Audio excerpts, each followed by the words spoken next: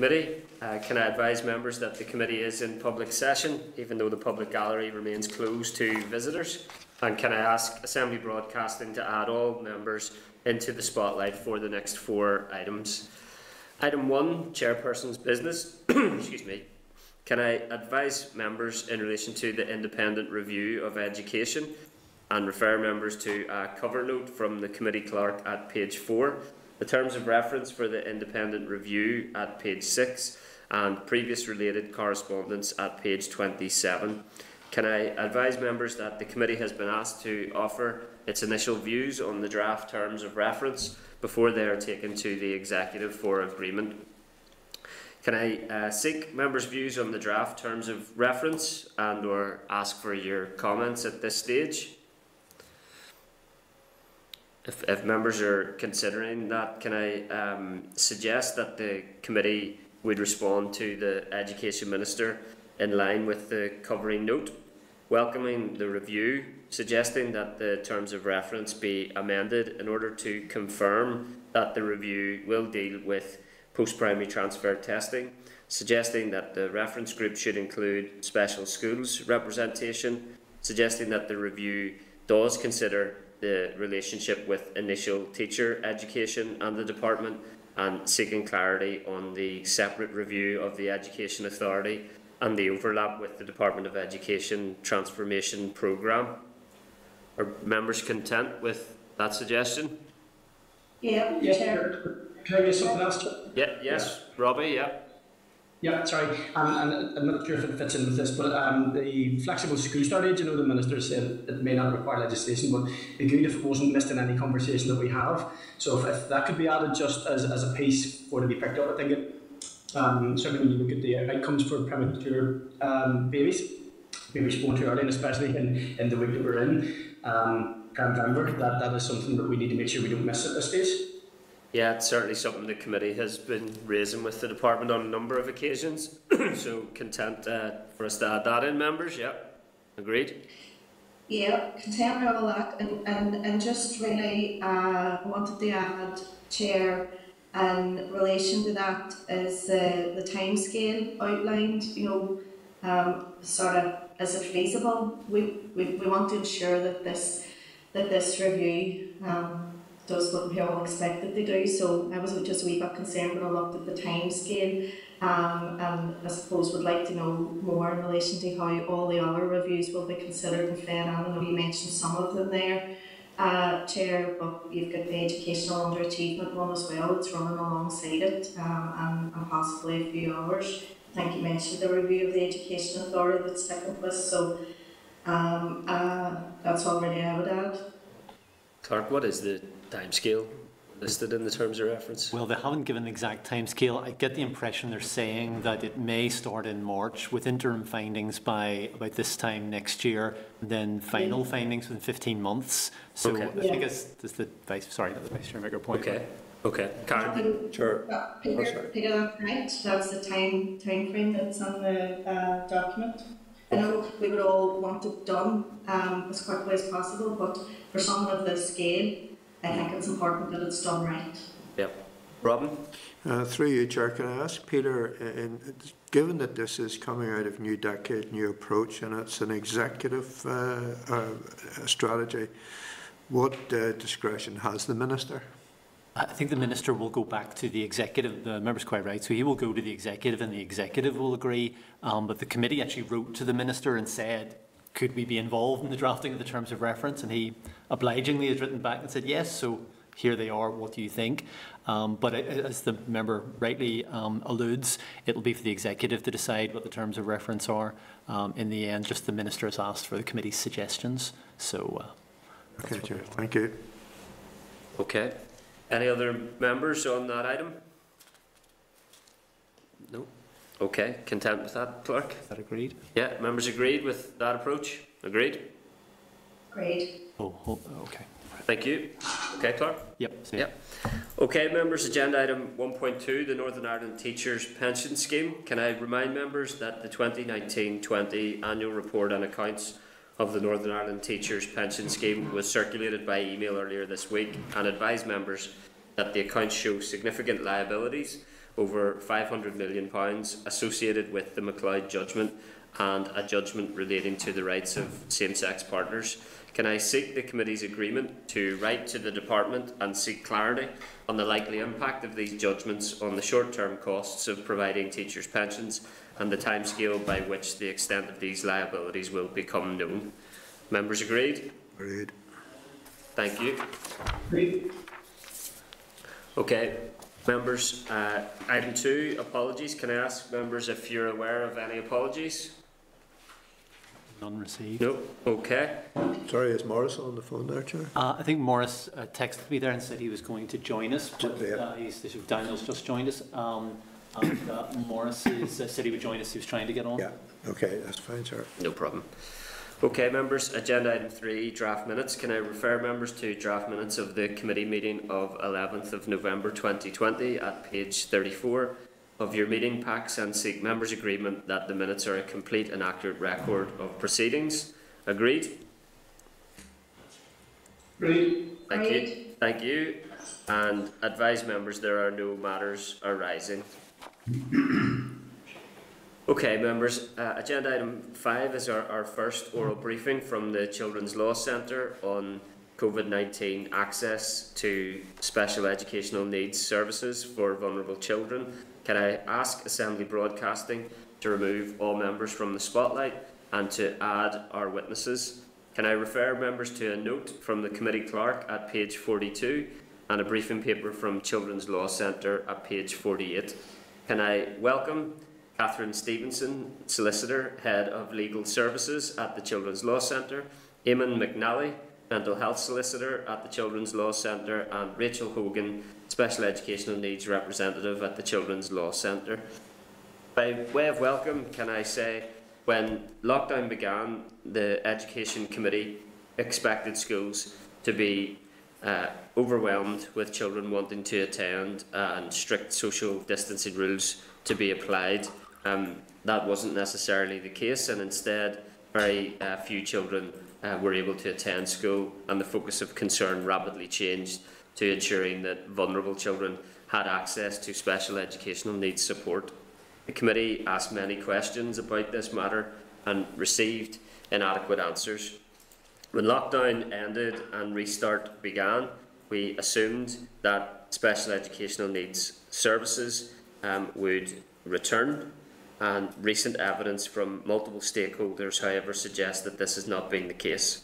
The Education Committee is therefore very glad and grateful to welcome the Children's Law Centre, uh, who have worked uh, tirelessly on these issues and who hopefully can shed light on the current situation and perhaps also inform our response to the related Department of Health consultation. Can I advise witnesses that the committee will give them up to 15 minutes to make an opening statement uh, in relation to the above issues and then take questions from members? Okay, uh, hand over to the Children's Law Centre representatives. Thank you. Uh, thank you very much, Chair. Can you hear me all right? Yes, Rachel, thank you. Oh, that's great. So I'm Rachel Hogan, uh, Chair and members from the Children's Law Centre. I'm going to speak for a few minutes. Um, I'm the Special Educational Needs and Disability Representative at the Centre, and then I'm going to hand over to my colleague Eamon, who's the Mental Health Solicitor, and that'll be followed by Catherine, our Head of Legal, to deal with a number of different issues briefly, uh, and then you can certainly ask us any questions around that. Um, the Children's Law Centre, for anyone who's not familiar with our work, is an independent charity, and we work to uphold children's rights um, with the hope of changing their lives for the better to make sure that there's legal compliance with their rights. We're founded on three core principles, which is that children should not face discrimination in their lives because of their background or status, uh, including disability and special needs.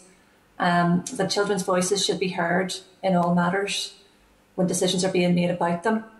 Uh, and very importantly, that when decisions are being made about children, that they should be made in their best interests. So the best interests of the child should always be a primary consideration. Um, and that's really a key factor in what we're talking to you about today because we feel that the best interests of the child has most certainly not been at the centre of decisions that have been made. And we've seen very harmful fallout as a result of that. Uh, our organisation carries out legal work, um, including judicial review and strategic litigation, advice work, policy uh, work, training, and we have a youth advisory group as well. And we've recently launched an online uh, live chat platform called Rights Responder for young people to access directly.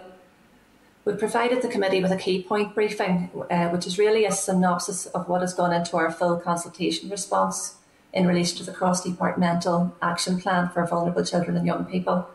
Uh, and certainly, children within our education system uh, come in all different forms, and there are many, many different groups of vulnerable children within that that we need to be concerned about.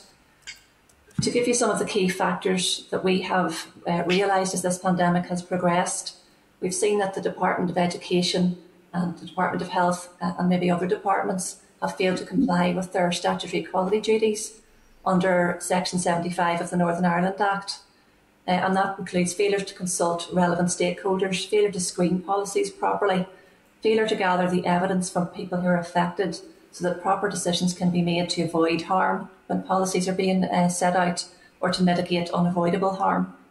Uh, and we'll be saying to you today that there has been avoidable harm physical, mental uh, harm caused to children and young people uh, by the policies that have been rolled out and the restrictions.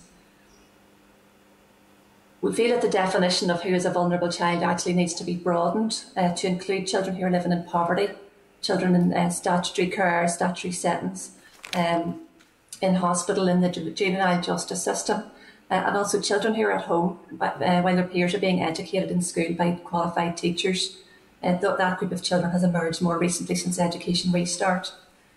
The action plan that the uh, Department of Health uh, is leading on and that the Department of Education and other departments are feeding into appears to be um, mainly retrospective.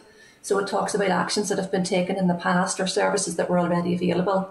It doesn't include uh, forward-looking actions to deal with the issues that we're, we have emerging in waves throughout this pandemic. It doesn't seem to provide for proper contingency planning or to build back services either to the level they were at previously or to a better level because we know that services were falling short before the pandemic started. There has been a serious failure to properly balance different harms. So, the harm uh, caused by coronavirus and the spread of the virus versus the harm caused by restricting access to education. That includes closing schools, um, disrupting school access, requiring children to go home if they have the virus or have been in direct contact with someone who has the virus, uh, children who are ill, children whose parents are sick with things like cancer or have had transplants. Um, those children are all suffering different types of harms, and those have not been uh, planned for, and services have not been put in place, and that's still the case today. What have we seen? We have seen children physically harmed. We have seen their parents physically harmed. Um, we have seen children being chemically restrained. And that has continued during the circuit breaker. Children have had to be chemically restrained again um, because there were no services for them. We've seen family life disrupted to the point where uh, we don't know how families are even functioning at all. Uh, we actually think there has been inhuman and degrading treatment meted out to the most vulnerable people in our society and that their right to life has been put at risk and remains at risk for some families. We had previously submitted a, a video to the committee uh, made by Open Democracy about our client Tina and her 17 year old daughter Lauren. And we encourage uh, you to look at that and t- take that into account as part of our evidence today, because it's the voice of a parent who, who, prior to making that video, was really invisible and silent, whose daughter has autism and severe learning difficulties, had no access to school, uh, no respite originally, no respite or school during the previous circuit breaker. And we're looking at situations where three adults are having difficulty restraining this young person. Um, and we currently can't access two people to take her out for a drive away from the home. And that's the type of situation that's been going on for that family since March, in fact, prior to March. Um, we have no uh, vulnerable child process to identify these children who are at risk, no visible process um, that we can access. So we're going to the Department of Health and Education in relation to individual children and seeking help. We're getting very minimal help in return. Uh, and we worry about all those children who, who don't have an advocate and who don't know how to access help. Um, children who are at home when their peers are at school, what we're finding there is that different children in the same family are getting differential treatment. So um, children who have no SEN might be able to access some remote learning, some online uh, work with their class, even on occasion. Um, children who have special educational needs and disability in the same family aren't getting anything, even though they've got a greater level of need and maybe have a full time classroom assistant. So we have questions about remote teaching and remote learning, um, which is not the same as sending home worksheets or putting things in Google Classroom. It's actually teaching young people with special educational needs and disabilities, or young people who don't have any of those um, protected backgrounds, but whose parents maybe aren't equipped to teach them, or who are working, and so on. And we believe that the department should issue a temporary continuity direction in order to promote a proper standard of remote access to education for children who we are asking to stay at home, or children who are medically advised to stay at home, or children who have no choice in the matter and are at home and not in school. Uh, we note that the Department of Education recruited 1,000 emergency volunteers during the pandemic, and on their website um, state that they're, they're quite pleased they haven't had to deploy any of those because schools are managing. Um, I can report to you that schools are not managing. We're having contact from schools that are on the brink of closure at this very moment. Schools here are on part time timetables, and they're telling us they need a bank of staff ready to back up. So they need a bank of classroom assistants, and those people need to be access checked and trained um, in all sorts of special needs and safety requirements so that they can be deployed if staff are off sick. Um, and I think some schools are really going to struggle to stay open as far as Christmas at the rate we're going. And this means that some children, as I say, are not accessing full time education. Children with special needs or disabilities are not receiving the support, the support that they require and that they're legally entitled to. We have full strength legal duties back in force since the 24th of August after the department had originally diluted those duties to a best endeavours duty. Um, so children with statements and children with uh, um, stage two, stage three special educational needs are not currently having their needs fully met. Uh, some schools aren't allowing external people into school. Some services are restricted and are not offering one-to-one services. Um, it seems to be uh, services like uh, literacy support, autism support, those sorts of services that are really, really essential and are not being provided at the moment. Um, and so I think I leave it there, other than just to point out a couple of actions that I think would be useful things, steps that can be taken in relation to those matters. So, first of all, full equality impact assessments should be carried out before policies are rolled out. If they're already rolled out, the equality impacts need to be assessed and measures put in place to safeguard and protect the most at risk children. Uh, we need properly resourced contingency plans we need direction from government departments. They need to use their powers of direction and follow that up with resources and not leave it to the discretion of schools because schools are simply struggling to stay open at the moment. They don't have the time and resources to make these types of decisions. Um, we need that bank of backup staff to be put in place. Direct pupil support services need to be restarted on a direct level. Um, we, we need to think about what services are essential. What do we designate as priority? Essential services that cannot be removed in order to ensure that legal compliance is met. So that includes entitlement to education, entitlement to disability support, entitlement to special educational provision, entitlement for children in need who need social services support uh, and to link in with school. We need a clear, visible, vulnerable child process, um, drawing upon lessons learned throughout the pandemic. Uh, we should dispense with any unnecessary emergency legislation which weakens protection for children. Um, and I'll finish by saying we should have legal compliance, legal compliance with Section 75 of the Northern Ireland Act 1998, comply with the Special Educational Needs and Disability Northern Ireland Order 2005, comply with the Education uh, Northern Ireland Order 1996, uh, comply with the Children Northern Ireland Order 1995, comply with the Children's Services Cooperation Act 2015, and comply with the Human Rights Act 1998 those are your minimum basic standards of legal compliance. Um, so I'll leave it there and I'll pass to my colleague Eamon, who's our mental health solicitor, and he'll talk to you about uh, respite. Thank you, Rachel. I would just like to draw to the committee's attention the issue of respite. Um, I don't need to tell you that it's a really well established fact that the care system as we know it could not operate if it was not for the work carried out by informal carers. In fact, statistics would show that there are over 200,000 people in Northern Ireland who have a caring role. Now, one of the services that are available to carers to allow them to continue in that role is respite or short breaks.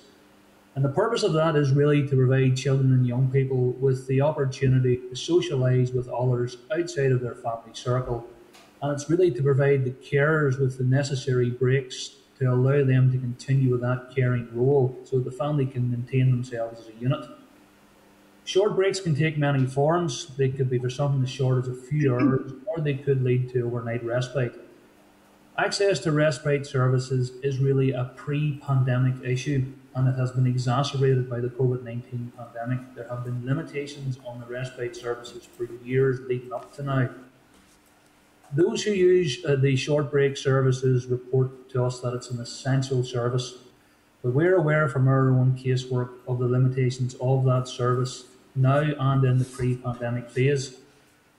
Uh, by way of example, there are really limited spaces within the respite units. For example, if we take Belfast Trust, it has two beds in Willow Lodge, four beds in Lindsay House, and eight beds for children with a medical need and learning disability in Forest Lodge, and that's for the entire Belfast Trust population.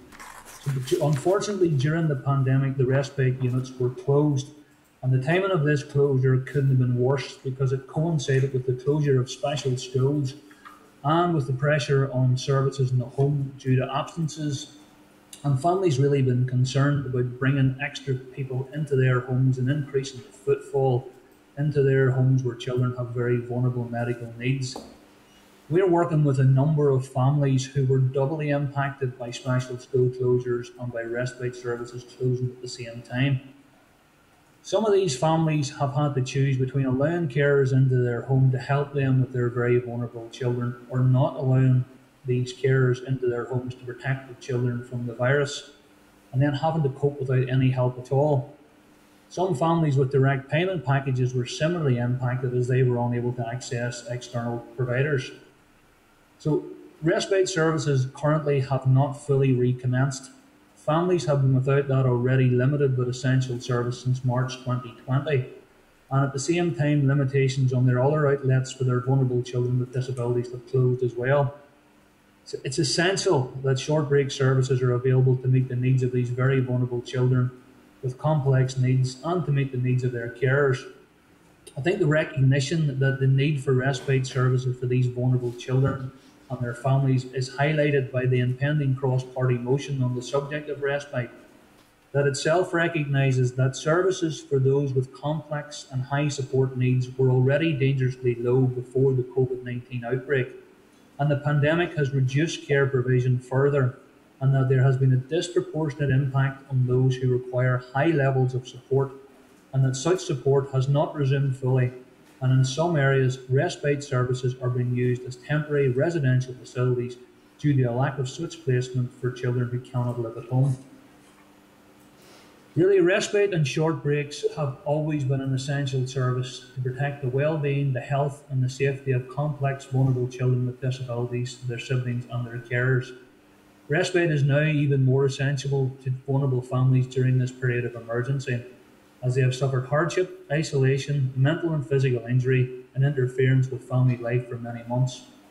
Some extremely distressed and vulnerable children have been chemically restrained as a direct result of the loss and disruption of respite and education services.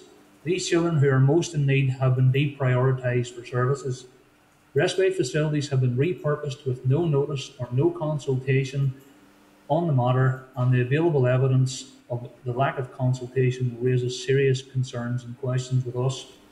CLC is extremely concerned that there was no mention of respite services in the Vulnerable Children's Action Plan, and we would strongly recommend that this is addressed as an immediate priority, with respite being recognised as a primary protective factor in the lives of vulnerable children with complex disabilities, and that resources need to be directed to meet the pre-existing and the additional needs of these vulnerable children and families.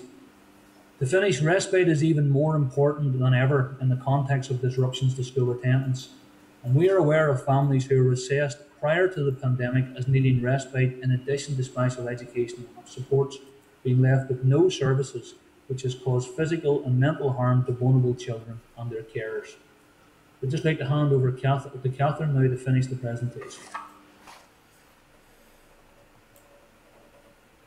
Thank you, Damon. Can, can people hear me now? Yeah? Yes, Catherine, yeah. thank you.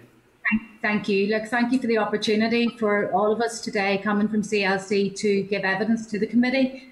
Um, I just wanted to reiterate um, some of the points that Rachel had made and also to say that as well as consulting with vulnerable children and their families in individual cases, um, we have also engaged with a range of special schools to try and understand the gaps and challenges that they're facing and the lessons they've learned from previous lockdowns and some of the solutions as well. We know that some children are not attending school in the long term um, due to uh, family members with underlying health conditions. We know that there are increasing numbers of children in poverty as a result of COVID 19. Um, we know that vulnerable staff um, are needing to self isolate due to underlying health conditions, and there are growing pressures on schools around recruitment of substitute teachers and assistants. Um, there's an ongoing challenge to fulfil vacancies, and there's no pool of staff, as Rachel has said, and no reserve lists. They're all exhausted um, by the department. Um, it's leading to partial closures and suspension of classes, and there's a real challenge here um, to deliver remote learning to children with profound, multiple, and highly complex needs at home. Due to digital poverty as well, some children won't be able to be taught online, with no access to IT or the internet. Some parents at home are ill equipped to support their children to learn as well. So a lot needs to be done in terms of supporting families and supporting and empowering parents to deliver education at home. Um, there's also a lack of consistency and access to educational supports and health supports. Um, there were gaps during lockdown due to redeployment of staff, and there really does need to be contingency planning to ensure that online support, for example, from OTs and speech and language therapies, can be delivered to families at home whenever they can't attend schools or special, in special schools they have access to those um, health providers.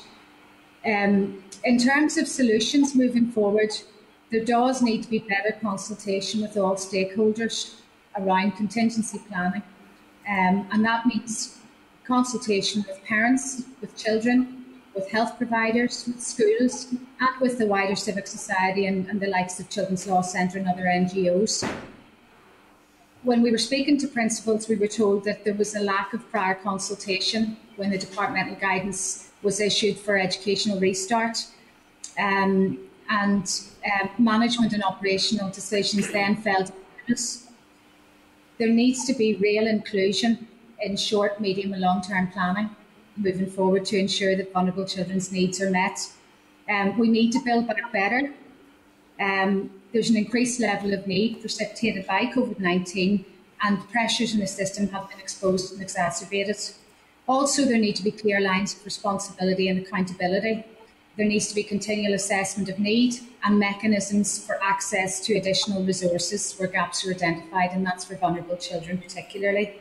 Um, I would like to talk a wee bit more about supporting remote learning and what the potential wide-ranging benefits are for for for children. Um, but maybe when when we get to the questions, we can we can talk about that. But the big message that I suppose we want to deliver today is around collaboration, and it's absolutely key that in the interface between health and education, there is full collaboration. Health need to work in partnership with education to improve children's outcomes and ensure access to education. The Children's Services Cooperation Act is the main legislative um, tool that we can use. Um, there are requirements to pool resources, to join funding streams, and to collaborate on the delivery of services for children to promote children's wellbeing. Um, in terms of contingency plan for future lockdowns and circuit breakers.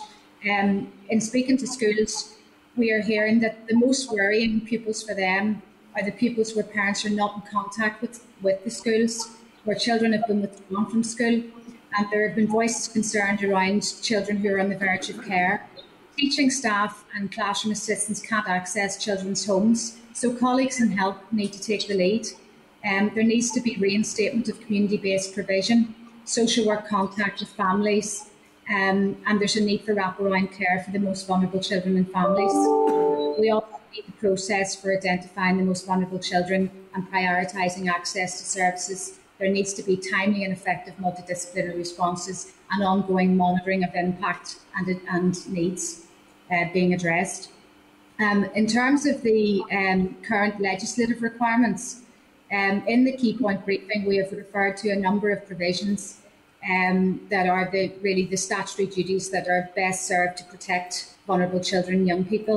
The real actions needed now are that the Department of Health and the Department of Education should dispense with um, introduction of emergency legislation and regulation which dilutes those obligations and we need to safeguard and promote the well-being of children. So for example, the temporary modification um, notices that the, the regulations that were issued for children's social care um, have been extended for a further six months without any consultation. Um, we know that the Department of Education issued temporary modifications at the start of lockdown and that those cont- discontinued in August. But there is provision and there's within the Coronavirus Act to reintroduce those at any time and dilute the measures. So we want to guard against that.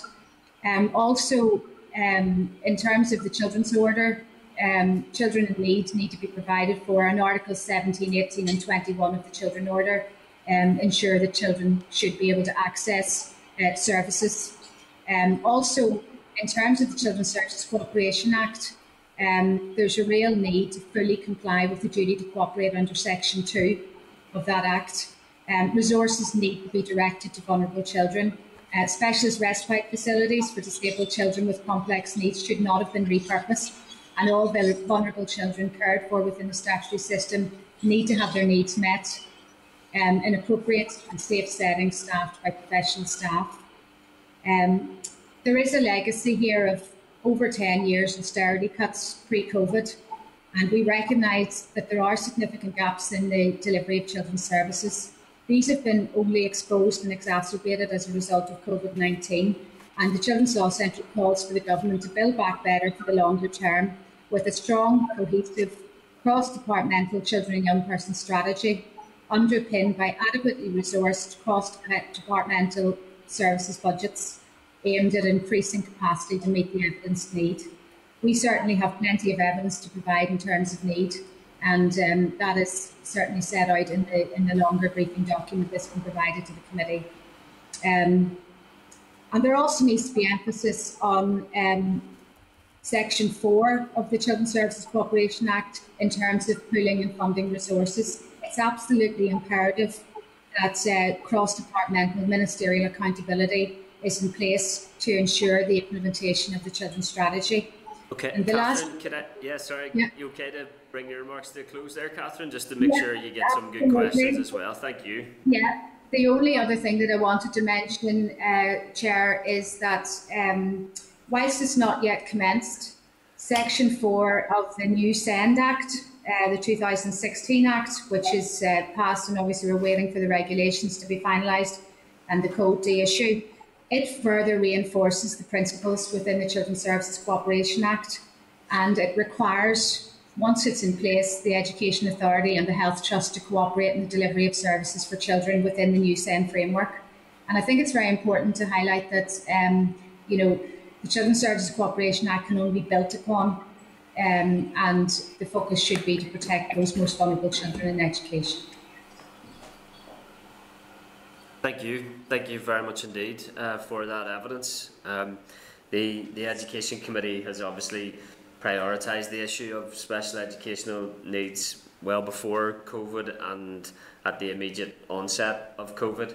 Um, I, I consistently asked the Education Minister uh, from the start of COVID about schools, about special educational needs provision and about childcare and I think COVID 19, as you said, has exposed the inadequacy of support services for children and families with disabilities and with complex needs. We, we know that, but it is still no less shocking to hear your evidence today, including quite clear assertions that um, that the uh, impact of COVID nineteen and the response to it has caused harm uh, to the point of uh, inhuman and degrading a treat, uh, treatment occurring.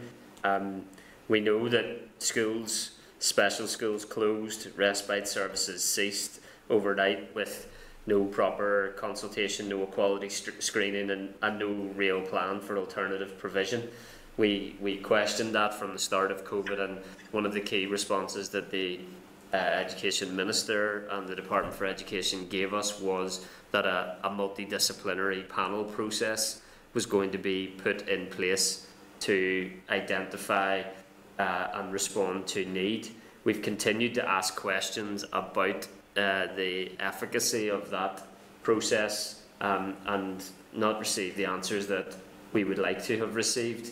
Are, are you um, more familiar than we are with those outcomes in terms of that vulnerable child process? Do you know how children are identified, how they're referred, um, what, if any, outcomes are being achieved in terms of the reinstatement of services for them, and indeed um, how many vulnerable children we're talking about that have actually um, been uh, considered by that process?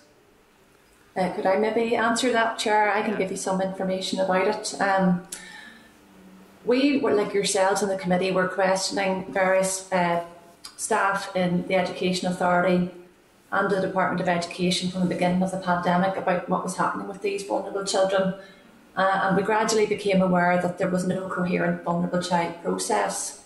Um, we had weekly meetings uh, about this with various staff, and every week we went along and we, we talked about individual children, and, and we're consistently told, um, we were sorting something out, we're putting a, process in place, just you know, hold off and we were reassured and we, we felt, oh yes, something's being put in place between health and education.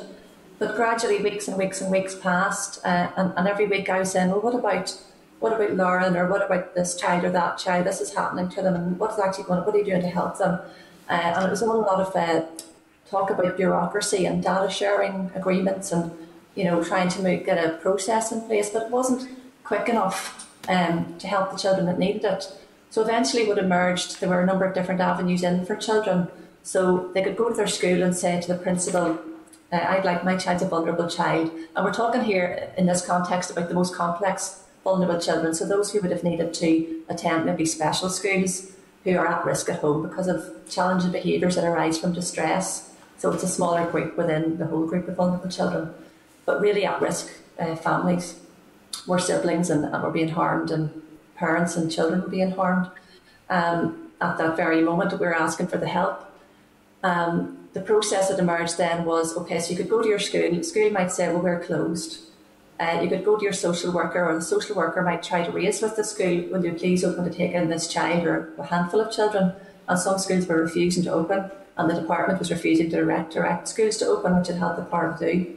Other schools were opening and trying to admit certain children, but they weren't admitting all the children that we thought they should be, admitting some very vulnerable children. Those most challenging children were the ones who were being risk assessed out of the process. Um, there was departmental guidance which had a two step uh, guide. Number one, a multidisciplinary assessment is it in the child's best interest to be out of the home? And if the answer is yes, then you have to provide them with supervised education in a school, or if that's too risky because of the second step risk assessment, then you would have to provide them uh, with provision outside the home elsewhere, maybe through social services.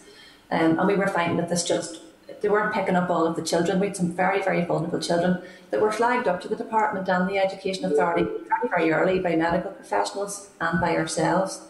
And then gradually, what emerged was a uh, there was a, a process, a joint health and education process, which seemed to involve the deployment of one sort of senior uh, statutory officer who did her very best, I have to say, to phone around medical professionals, ourselves, families, and schools and get together meetings and would come back then with, well, we can give the child three sessions between now and the end of the summer or the end of the term before summer or six sessions.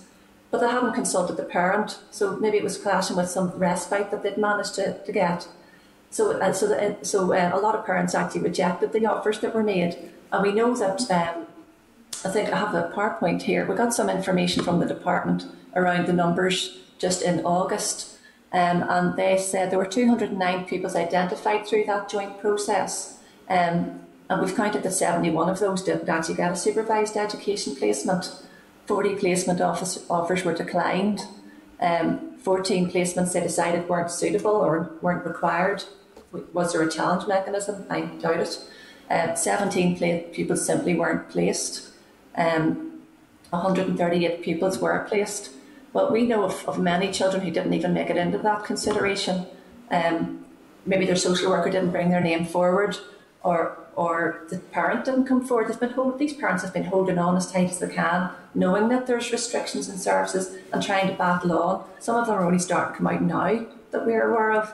Um, we're having to take legal actions against the Department of Education, and we're probably going to have to do the same in relation to uh, respite as well, because we, we just can't get these services. So what happened was the EA then put up an, an online form that you could, that was purportedly there to help people. Um, I got my client Tina, who made the video, to fill in that form, and she got a response back and said, "Your school is closed. We'll let you know if anything changes." So that was the response that she got. Um, so our point was that vulnerable child process wasn't adequate. It didn't do what it was meant to do. We were assured that there was a lessons learned process happening in relation to that, and that lessons had been learned, and our comments were taken on board. But we don't know what lessons were learned or what, what part of our comments were taken on board.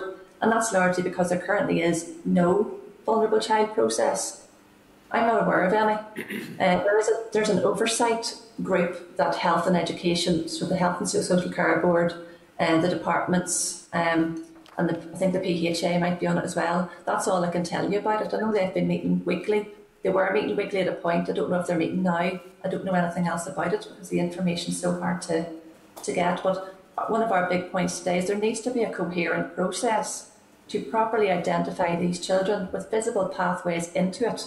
So that, for example, if I identify a child, I can refer them in uh, rather than writing, you know, 20 emails to the EA and then going up to the departments and still getting uh, no help. Um, so it needs to be coherent and it needs to be um, needs to be multidisciplinary, and that's where a pooled budget would come in. You put a pooled budget in, you put proper resourcing in. You don't put one person in charge of. Uh, you, you put a team in, um, and you, you run it properly and effectively. And that's what we would like to see urgently put in place from now until the end of the pandemic, till the end of the emergency. And actually, some of these children were vulnerable before this, and we didn't do anything for them. So maybe we need a permanent vulnerable child process.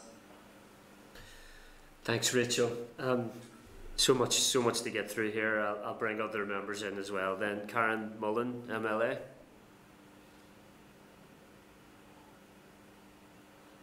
Thank you, Chair, and thank you, Rachel, Eamon, and Catherine. Um, and thank you not only for today, but the great work that you do. My office is in regular contact with, with yourselves, um, as you know, and my constituency managers went through a number of training, which has been really, really beneficial um, in relation to the work that we've done. And I suppose I just want to pick up where Rachel finished off in relation to the vulnerable child process. That is my experience as well, Rachel, and I'm still sitting here today and I'm no further forward. Um, uh, I actually found um, between the committee uh, updates and then the updates from the department, I was getting conflicting uh, messages around what the process was. Uh, you were relaying this to parents who didn't know, and you were also then advising parents to go to the principal, um, who wasn't medically trained, uh, and the principal didn't know. So then I was saying advising principals on what to do, and still today I, I don't know what that process is. So um, it's it's it's disappointing to say the least. I suppose over the last few weeks and months we've heard from uh, number of contributors to the committee, particularly those who have autistic children, and uh, you also, Rachel, you also raised it here today, and that they have been particularly abandoned um, by health and education, but not just um, from March. This is ongoing, and and uh, and again through the, the, the new restrictions.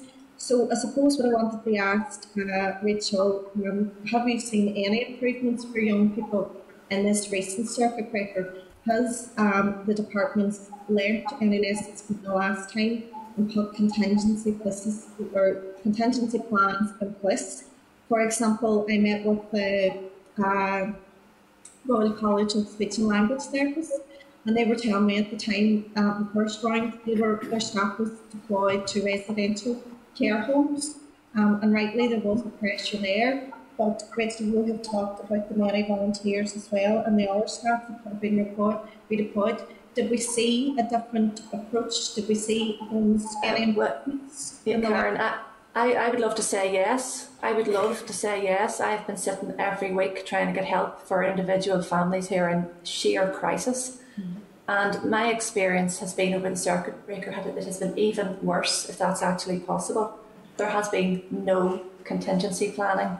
And if I take uh, Lauren as an example, I've been given permission to talk about her case. She's a very vulnerable young person who's been through a terrible, terrible time, and her family are exhausted.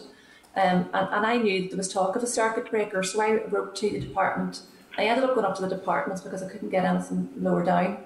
So I went to the departments of health and education and I pointed out, there, you know, there's talk of a circuit breaker. What is your contingency plan? What plan have you in place for these children?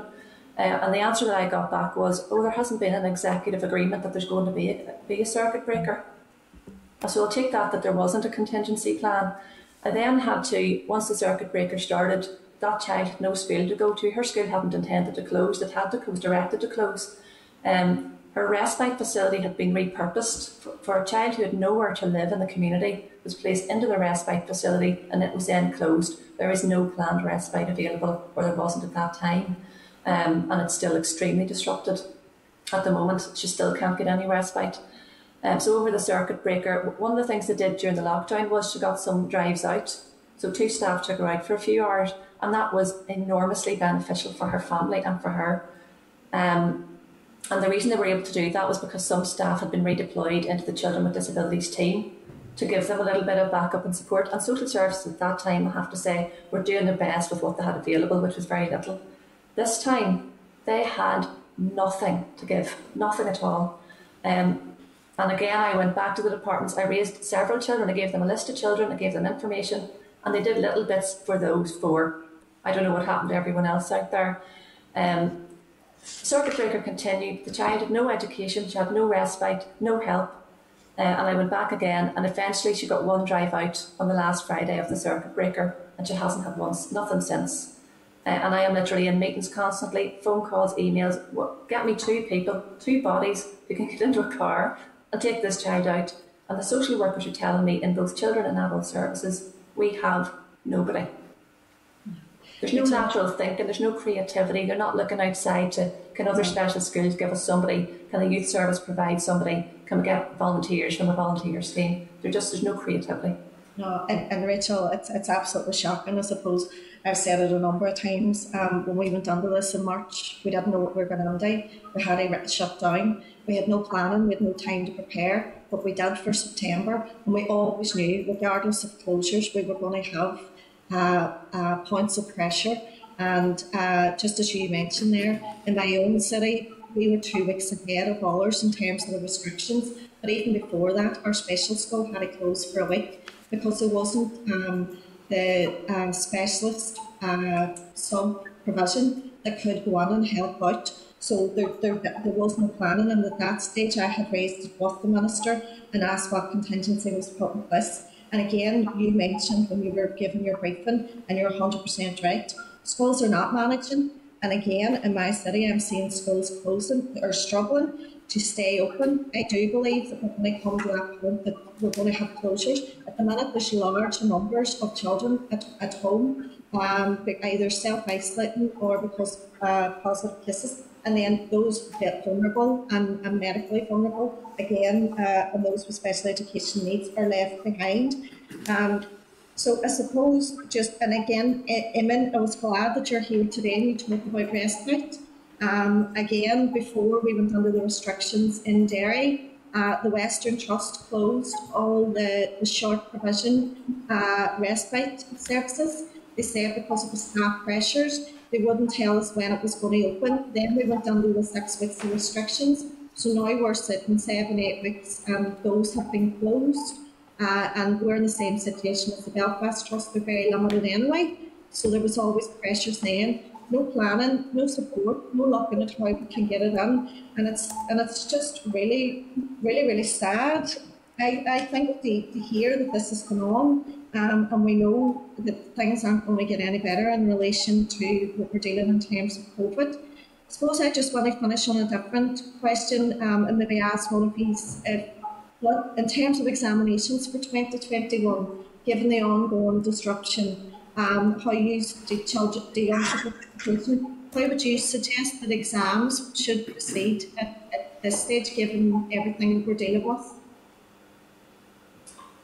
Uh, Karen, that's something we haven't actually taken a position on, so I wouldn't be in a position to comment on it currently, but it's something we can certainly look at. But obviously, we would have great empathy with young people who are being asked to sit examinations at times when their schools are, are closed. They're being told to go home, but they, the law is telling them they have to go home and isolate. Um, and, and they've made their own views known quite well through their different organisations, which has been very impressive to see. And I think that the, the Minister for Education and the department has to listen to those young people and give their views proper weight. That's the first thing that I would suggest that is done. Great, Rachel, and I hope that happens because listening to yourselves today in relation to the vulnerable children's consultation, that hasn't happened and it's something we'll be raising in the next session. That's me, Chair. Thank you. Thanks, Karen. Uh, can I bring in Robin Newton, please? Thanks. Thank you, Chair, and uh, thank the members of CLC for joining us today. I, I don't know where you live, but the internet connection is much better from your homes than it is from the Deputy Chair's home. so, uh, can I just uh, have a number of uh, specific questions? Um, uh, I think they were really to uh, Rachel uh, and to Eamon. Uh, Rachel, you indicated that you'd been contacted by a significant number of schools who were requesting a bank of classroom assistants, and, and, indeed that uh, they were under uh, continuing additional pressures and at the point of closure. Uh, how many schools would that be? What kind of schools are there? I, I couldn't give you a definitive number of schools. Um, I suppose all of our advice workers, we have an advice team, and then we have our the members here that you have today, and all of us are talking to different um, stakeholders, schools, and parents who are telling us that there are restrictions in their school. I think where I'm seeing the biggest impact is in the special school sector, but that's not to say that the mainstream school sector isn't struggling. The difficulty with special schools is their staff are very highly trained so they would be trained in managing epilepsy, delivering emergency medication, uh, behaviour support, communication support, uh, looking after speech and language uh, needs and assessments around choking hazards, manual handling, um, looking after children who have tracheostomies and so on and who have aerosol generating procedures. Some of those children haven't been back to school yet, incidentally. Uh, so those staff, it's not just a matter of you know getting a backup or getting a sub um, they need people who can be trained, who have a level of knowledge, preferably to start with, and then will need to go through a set of training so that they can safely be deployed even as a number two in the classroom. So schools are telling us that they're literally able to put one person with expertise in a class and then one other, maybe classroom assistant or other assistant in to help them. Um, and if they get a if they get a notification during the day um, that a couple of staff from the Stop COVID app have to go and isolate. They've just lost two or three staff. That has a devastating impact on their ability to, to give services. So we've seen letters going out to parents. Some of the very vulnerable children we're dealing with have shared these letters with us to say uh, your child can only come into school two days a week um, for the rest of the month uh, because we don't have the staff. And it's really a health and safety issue. We're, um, we can't apportion any blame to the school. The schools are doing everything they can to stay open and, and facilitate their children. Uh, and I just worry that this is the start of another wave. Um, we will have the Christmas break coming up, which might alleviate things a little bit. But in the meantime, what are we going to do with all these children here at home? How are they going to be educated and supported and, and primarily kept safe? That's my concern. So I think we're going to see increasing numbers if the infection rates continue as they are. And so this is obviously all related to the infection rate and the spread of the virus. Um, the more that the virus is spreading, the more people who are isolating. Um, our medical services we see are affected. We can't access ordinary health services, but the same goes for education and respite. Those staff need to be on the ground to deliver properly trained staff, and uh, they're in short supply at the minute, unfortunately. Okay, well, I think the, the, the committee has indeed had uh, paid tribute to all of our uh, teachers, teaching staff, but particularly those in SEND schools who we recognised as doing a, a difficult and a, a very valuable uh, job. Can I ask you about, you made the comment about um, you were raising some of your clients' cases, I think you called those clients' cases, um, and quite specifically one you had uh, that the principal was refusing to open and the department was refusing to instruct the school to open. I mean, I'm sure you would agree with me that the, the principal of our, particularly our special needs schools, are extremely responsible, extremely knowledgeable, uh, and indeed extremely caring uh, individuals. So, presumably, there would have been a very good reason for the principal refusing to open. Well, I, unfortunately, I don't think we can presume that. Now, I agree with you 100%, and uh, I do pay tribute to principals of any school at the moment. And none of us would like to have their job at the moment. It's very, very difficult. Um, and they, they generally tend to, to be very vocational people. They're there because they care about young people and they're working very, very hard. And it's very difficult for them to, to be criticised. Um, we did criticise some schools for not, uh, we thought, doing enough, for example, not opening at all. Um, and when we had sight of risk assessments, so if you take, for example, two, two schools with severe learning difficulties without focusing on any particular one school, if you take two, one has opened, they've got the same profile of pupils, uh, and they can meet the needs of a handful of them. And the other one says, we can't open because of all these COVID risks, like uh, children can't socially distance, is the type of excuse uh, or reason or explanation that was given. Now, I think we have to be we have to be fair. At the beginning of the pandemic, none of us understood the nature of these risks. All of us were frightened. Um, and principals are having to take care of staff who are vulnerable. Principals themselves might be vulnerable in ways or have health issues, staff have issues, and children are clinically vulnerable. So I have a, I have a very high degree of empathy with school principals, having spoken to them. But we were very frustrated, um, I suppose, because we were trying to get help for children and we, social services were trying to do their best, but we couldn't get access to particular schools. Um, I suppose the alternative would have been the children could have been given a placement in another school that didn't happen either. So if the Education Authority thought that the principal made a valid decision in that case, which they may have, um, then they should have looked at a different placement for the children. So I don't mean to be overly critical of principals. I do understand how difficult their job is. Uh, but I did, I did feel that criticism was warranted in relation to the department failing to direct, uh, to look into why can a school not open? What is it that they need? So do they not have health staff available? Let's get the school nurse back in let's get the OT back in, let's put uh, supports in for that school to enable them to open. Um, and I think maybe that's a fairer way to put it. The schools weren't, uh, in some cases, feeling that they were enabled to open and that they assessed the risk as being high. Um, so that's putting it as fairly as I can. Okay. Can I, thank you, thank you. Can I ask Eamon then?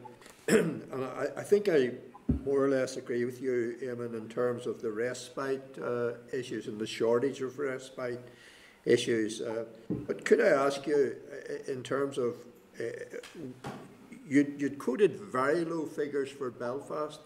Is that the totality of the situation in Belfast, or is there a, a, a wider remit um, for, for respite? and indeed, um, how is it being limited? Is it purely and simply just because the places are there for what is regarded as a normal situation, but now that we're in a pandemic, that the places are, or is there a shortage overall uh, during the course of the, the, the year? The figures that I gave you are the totality for Belfast. The Belfast has four of the eight beds in Lindsay House, which is really a, a legacy arrangement from the old days of the Eastern Health and Social Services Board. There were plans put forward by the Department of Health well over a decade ago to build a new respite unit, and that has never come to pass. Uh, Willow Lodge itself has two beds, Um, and Forest Lodge has eight beds, which are really for children who have a medical need. So, you could be a child on a ventilator, for example, with a learning disability. So, I think the committee has already heard from the National Autistic Society. So if you take a child who has autism, there's a total of six beds that they can potentially access within the Belfast Trust.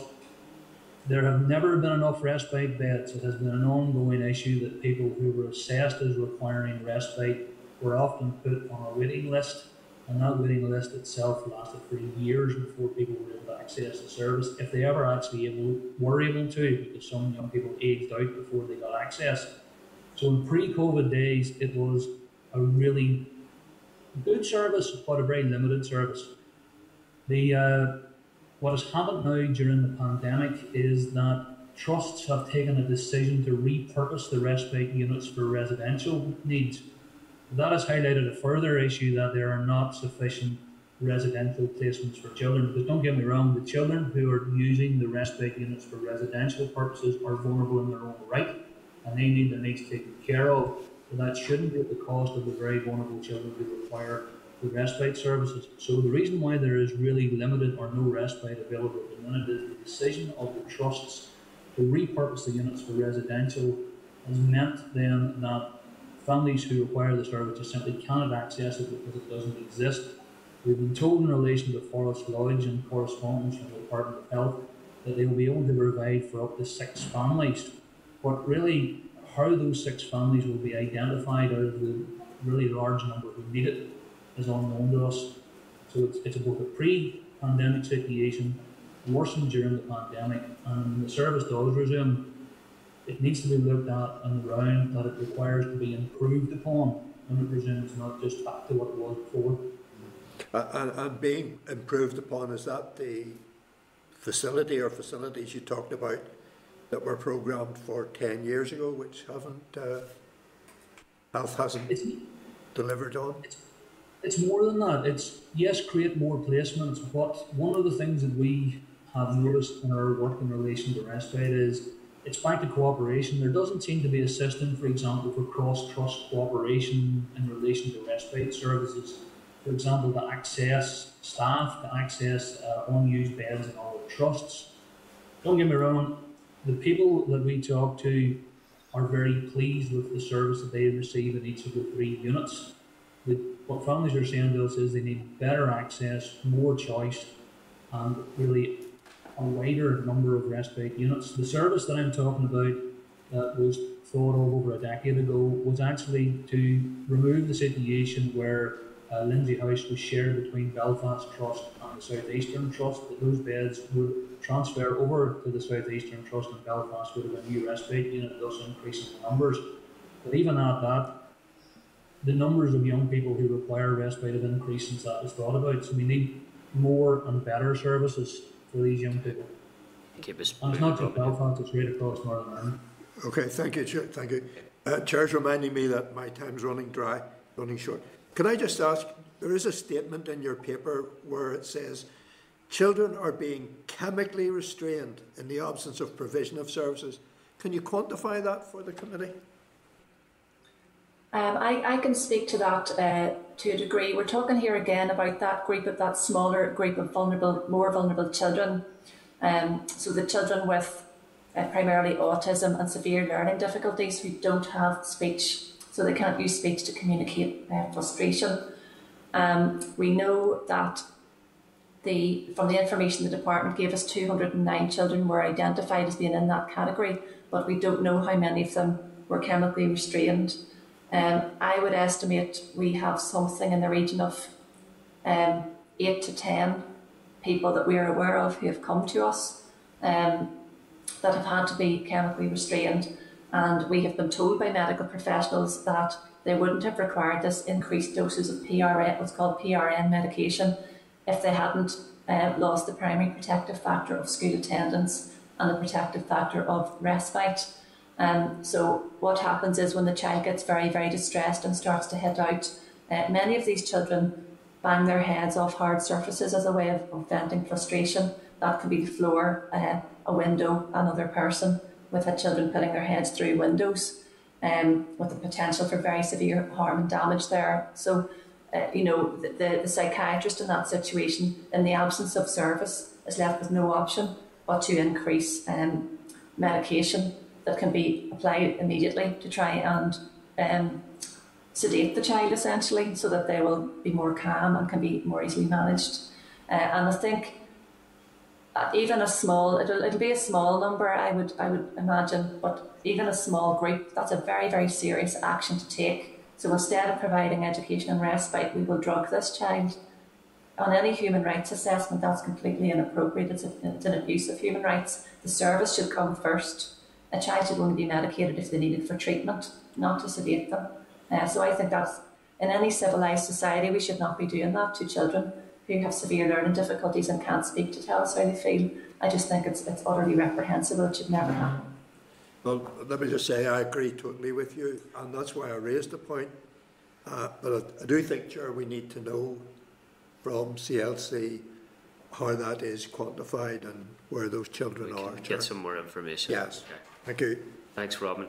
Uh, before I bring other members in, I, just want to say briefly that, that this is actually very disturbing evidence, and it is further evidence of a, a disturbing pattern of chronic underinvestment and underprovision in services for children and families with, with complex needs. This committee heard very recently that identified need for an entire new special school in Belfast was made in 2012.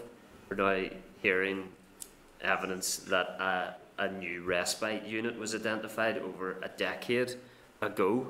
Um, so the, the evidence of under provision during COVID is just entirely consistent with that that systemic under provision um, and complete lack of awareness. Uh, Karen mentioned earlier that we that that we were that, that COVID was a, an emergency pandemic initially, um, but that we had an opportunity to plan for second waves.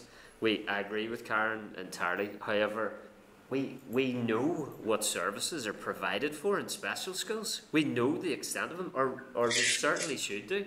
Education ministers, health ministers should be fully aware of the extent of the education and health services that are provided in those schools. They, sh- they should have known that from the very outset of the COVID 19 pandemic, and yet the evidence today suggests there is still no coherent plan in place to provide auxiliary services when they can't be accessed at special school. It, it's, it's damning and it's disturbing. Um, I'll, I'll bring in other members, um, obviously, as well. Can I bring in Daniel McCrossan, MLA? Yes, Daniel? thank- you, Yep. uh, Chair, and thank you to our witnesses for their presentations. I, I can say I am very, very disturbed by the grave uh, information that uh, you're providing. Uh, I'm also uh, very, very clear on the reality around all this. There was an SEN crisis prior to COVID. The department knew how serious the situation was. The, the department knew the stress and anxiety amongst the teaching profession in SEN schools. The department knew the pressures on families uh, and young people, uh, the EA as well. Uh, did they really expect that that wouldn't worsen as a result of this pandemic? Do they really expect, in the absence of schools that been open, that families would be able to cope uh, with their children uh, uh, with severe complex need in many instances uh, without any support, intervention, or otherwise from the department or the education authority or others? This is a wholly serious situation and it goes well beyond the warnings that we have provided. The department know fully the serious concerns faced, uh, uh, serious issues faced by those families with SEN children. This, in my opinion, at this stage, giving all the facts and evidence that's been presented, is very much discriminatory against SEN children. And it's high time that this minister, the Department for Education, and the Education Authority stepped up to the mark and started putting the interests of these young people first. There are serious, serious equality issues here. Serious equality issues. That, that, that I can't even find words to explain them. And there's also huge issues around human rights because we don't know how vulnerable families are coping with children, sometimes two children, in an instance, more three children with special educational needs during what has been one of the most challenging times uh, in, in living memory. Uh, and I wrote to Peter Weir in great detail uh, a month ago and received no reply to the serious concerns that were raised. Only uh, since I tweeted the letter two days ago that I received a reply this morning uh, that, uh, that responded to some of the concerns. No way addressed any of them, uh, just to be blunt, uh, uh, in relation to that. The department are throwing money at everything, but they're doing nothing to resolve this issue. And I want to thank the three of you for being so bluntly honest and reflecting the reality that many parents and children are facing. My sister uh, uh, is a, a, mother of two children. One of them is five years of age, non-verbal, uh, severe complex need, and I can tell you she has struggled uh, throughout this pandemic. I've watched that child uh, in meltdown mode, and I can tell you it is very, very difficult for me to watch. And I've seen my sister, as that child's mother, in tears, not knowing what to do to calm her child, reassure him, help him, uh, uh, or deal with that frustration. It is wholly, wholly difficult for those families out there. And I want to put on record my sincerest appreciation to them for the huge amount of work uh, and, and, effort that they have put challenging the department and the education authority and seeking support and giving voice uh, to this very serious situation. So well done. I just want to touch on a point that is very, very serious, uh, and uh, uh, Rachel has mentioned it in relation to aerosol generating procedures, children requiring those procedures. Sorry, eight months after lockdown, those children are still in schools. Uh, yes, and it came to my attention recently when speaking to um, some school staff that um, I think the guidance had changed recently to take some of the children out of the definition of aerosol generating. So if they just needed nasal suction or you know, physical suction, that was now not aerosol generating. So measures could be taken to allow those children back. But still, not all of the children are back. And this was raised um, by schools very early on because they knew that when the month when weather was good, they could do some of these things outside. They had a space where they could actually carry out the procedures safely. Uh, but they knew that when the winter drew in, they wouldn't be able to do it. Um, and again, it's a very small but significant, uh, uh, small number of children, but a very significant impact. Um, and they're some of our most vulnerable children who require a great deal of care at home.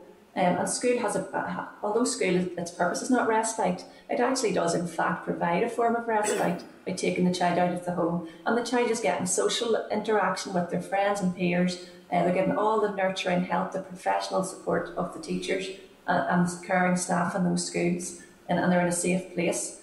Um, and, and, as you pointed out, it is an equality issue. The most disabled, most complex children are getting the least help.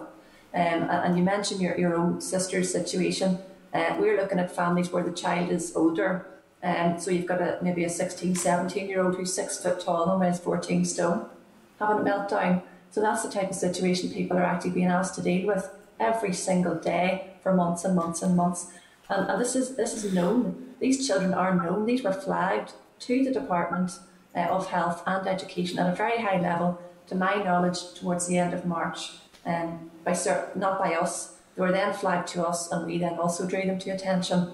Um, and even with all of that uh, behind them, we have really struggled to get any support. Now, if we're struggling and we're very determined and we have skills and tools at our disposal and we have a whole team of people working on this issue, um, if we can't get someone to take one of those children out for a drive for a couple of hours, there's something very, very wrong with the system. Uh, and we should be ashamed in Northern Ireland if that's the way we treat our most vulnerable children.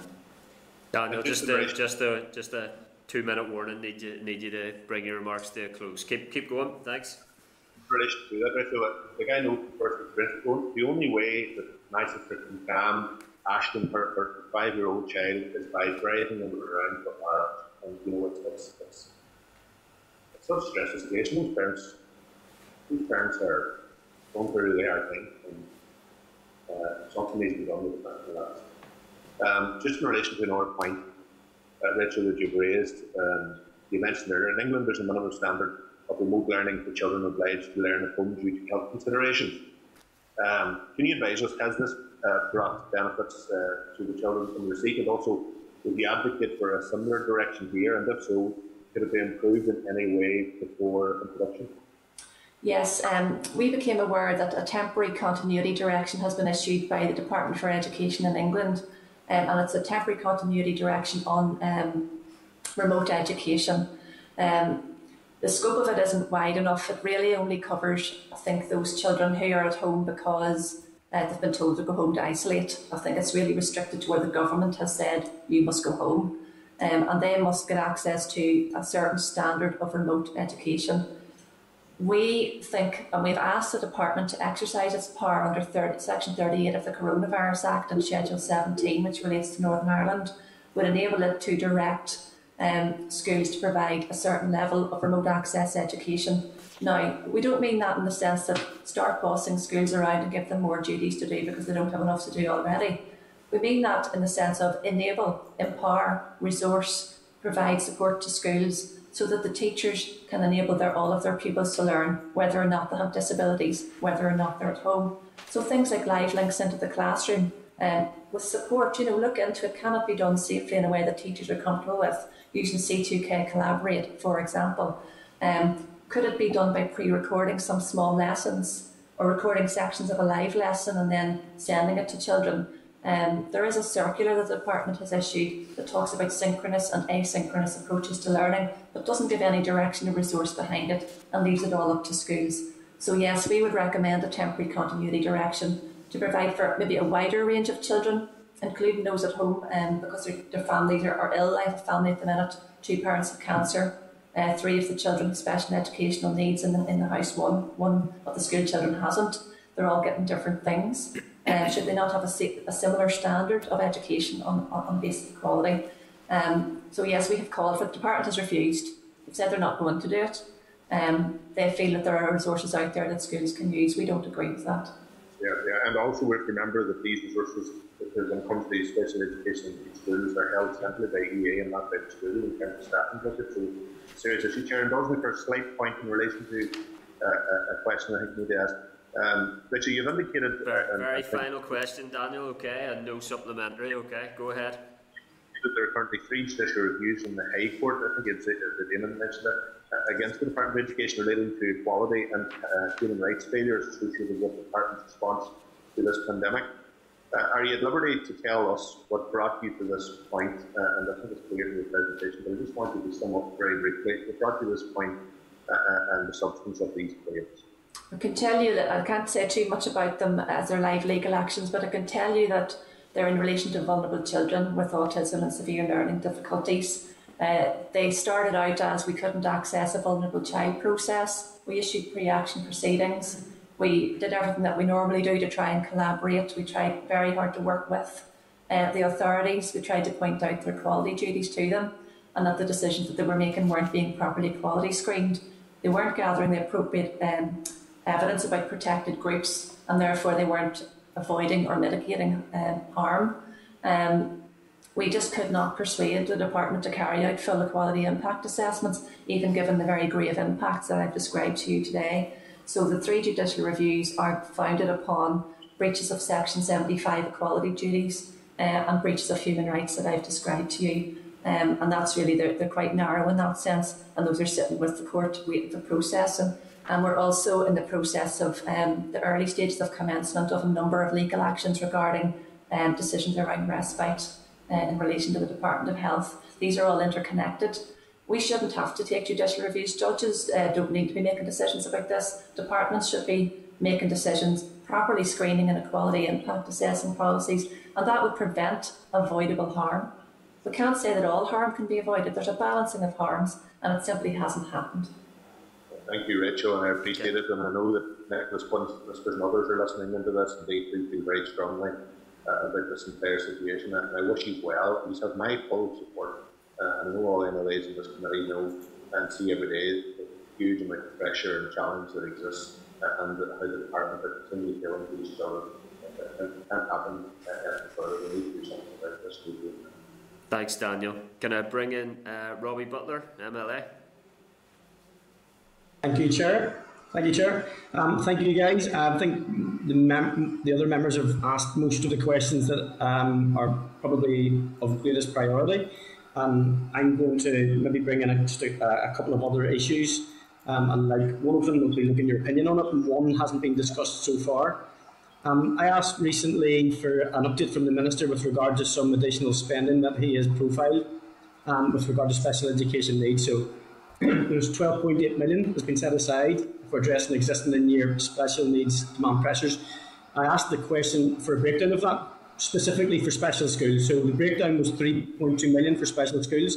And my issue and my problem with it is, and this is an ongoing um, problem, that that money is held centrally by EEA. So therefore, the, the uh, special school principals heads do not have the agility, the autonomy um, to access that money uh, in, a proficient manner and probably not in an expedient manner. I think they're in a, a very difficult position to meet the complex needs um, of some of our most vulnerable pupils. Have you guys uh, had, had any um, investigations into that? And what is your assessment of the impact on special schools that have to work through this procurement or sorry, this, this, this, this process for accessing the money uh, for their schools?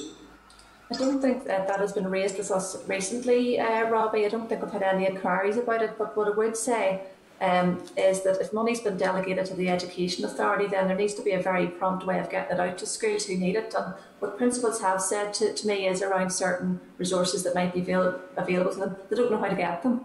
They know what they need and they know what they want to do. Uh, but it's actually staff they need. They need people. they need people on the ground.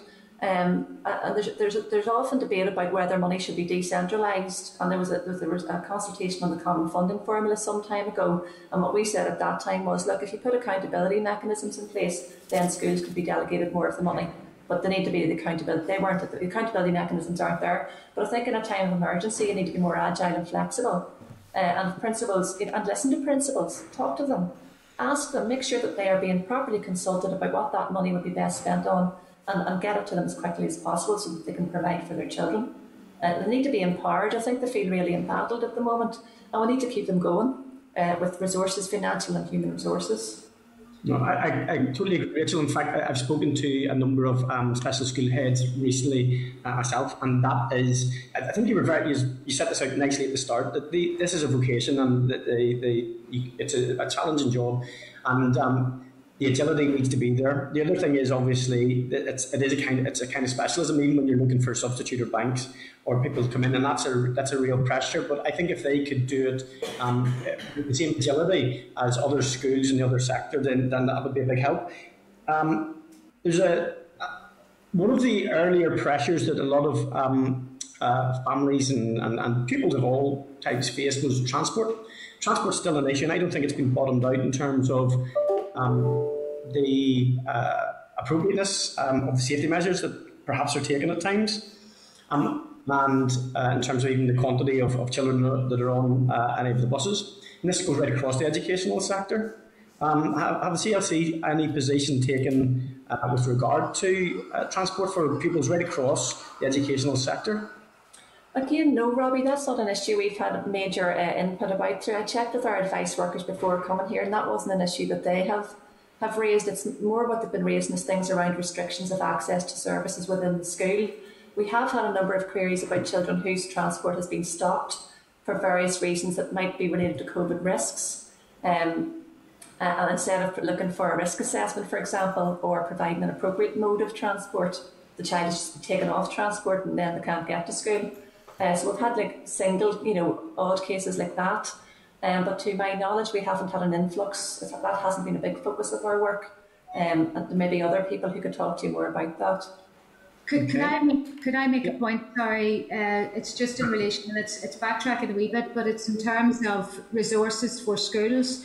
Um, in talking to principals, trying to set up remote learning, one of the big big problems they have is they want to utilise staff that are outside schools. So staff who maybe can't work because they're not well enough to come into school, but they can provide a service to those schools. So um, schools are working very, very hard, particularly special schools, in setting up banks of resources for remote learning at the moment. So they're they're doing those online lessons, they're doing pre-recorded lessons, they're they're also trying to do live links to families. Um, and for those parents who can't link in live, if there are pre-recorded recorded things, they can reinforce their children's learning and they can do it at another time. So it's really, really essential. But the key thing for schools is they don't have the IT. So um, within a classroom environment, maybe a teacher has a laptop or um, an iPad, but the assistants don't. So if you want to have the maximum impact in terms of producing uh, contingency remote learning for schools, they need and resource of IT, more equipment um, in order to deliver for children if there's a further lockdown or children can't uh, attend school for any particular reason. And the other thing that they can do is they can support and empower parents, for example, being um, learning to cope with their children outside school by having ASD coping strategies, behavioural support, OT support, speech and language. So those special schools can have those those extra uh, services put online to support families and empower families to look after their children at home.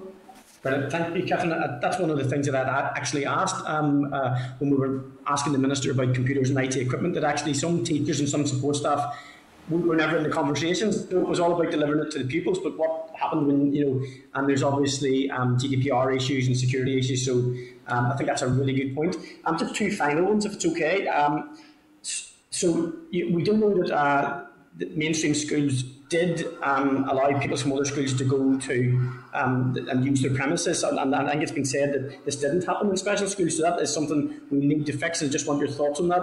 I mean, it, it's um, I, none of us want further lockdowns and school closures, but we talked about contingencies, and contingencies are not predicated on executive agreements. You make contingencies because you plan ahead and hope that it doesn't happen. I don't buy the excuse that you were given that we didn't have a contingency because we didn't with the executive would want to agree. If you're waiting this executive to agree anything, my goodness, I tell you what, you're, you're, not, you're not very good at forward planning. So that's not acceptable in any shape or form. The contingencies need to be there in special schools. We need to assist them in whatever way it is that we ensure that there is a, some you know, uh, availability. For, even for the respite, as you said, schools aren't for respite, but the reality is in this sector probably needed. So something about that, if someone wants to answer that, and this is probably for um, this is in the, for Eamon in the mental health piece. So um, the impact on uh, people with a learning disability or a special education need is inevitably harder in terms of their mental health, and very often it's overlooked. Eamon, has there been any analysis done or quantification done of the mental health impact on, on these people's? That's actually one of the things that we haven't been going for is a quantification of the impact on just generally on our young people's mental health of the whole pandemic. But I can tell you from our casework, we are experiencing young people whose needs are massively increased from what they were a year ago. Can't quantify you the numbers because the study hasn't been done, but traditionally we are not good at data collection when it comes to our young people's mental health. I know that Queen's University are taking part in a prevalence study at the minute, but if you look at the study on mental health, the most recent figure we have is 20 years old. The usual hmm. figure is 1999, or our government does with planning, so we need that data to be collected. So I can't give you an actual figure. No problem, Eamon, thank you. And just if there's anything on that about the schools places then? Yeah. Can, can I just sort of come back on that too, on, in relation to the mental health? We're starting to see, we're sort of seeing our cases coming in waves, waves of issues that emerge. And the latest one that's starting to trickle in, and I think is going to turn into a wave, is um, families of children who attend mainstream schools who have special educational needs are starting to exhibit mental health difficulties that they didn't have before. So it's as a result of all the disruption, and maybe got used to being at home and now they're having to go back into school, and maybe the supports aren't there or school's different than it used to be or the staff are changing around. Uh, and a lot of parents are starting to report to us that their children aren't feeling very well, uh, their mental health isn't good. Uh, and I think we're, we're also seeing children who are regressing in relation to their special educational provision not being met. Uh, there's a bit of a danger we forget about those mainstream children who have SEN, and they're actually the biggest cohort of children with special needs. And we're focusing on those really, really vulnerable children. But I feel, in a way, we're forgetting about all those ordinary SEN cases who are really, I think we're going to see that emerging as time goes on, the difficulties that they're suffering. We're seeing evidence of it now. In relation to your question about contingency planning, contingency planning is completely essential. We know that we, we can't predict, predict anything from one week to the next at the minute, none of us can. But you can, with some certainty, say if schools close, this will be the impact. If respite isn't there, this will be the impact. And the question is, is there a two-step vulnerable child process which is predicated on best interests? Is it in the child's best interest to be outside the home? Yes. Step two, risk assessment. How do we provide, how do we enable provision? Not risk assessment of, oh, we can't do them, the risk's too high. You can't leave that child at home in that risk. You have to take them out and put them either into their own school if it's a school issue, or another school, or another environment somewhere else. You, you, but you start with best interest. If we go back to basics and make all of our decisions based on best interests of children, we literally can't go wrong. So equality and best interests are your two um, planks that you need to be standing on. Okay, Robbie. Thank you, thank you, Chair. Thank you. Thanks, Robbie. Justin McNulty.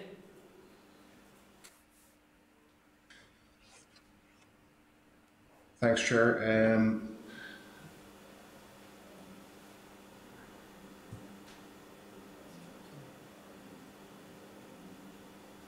I think apologies this morning, I've technical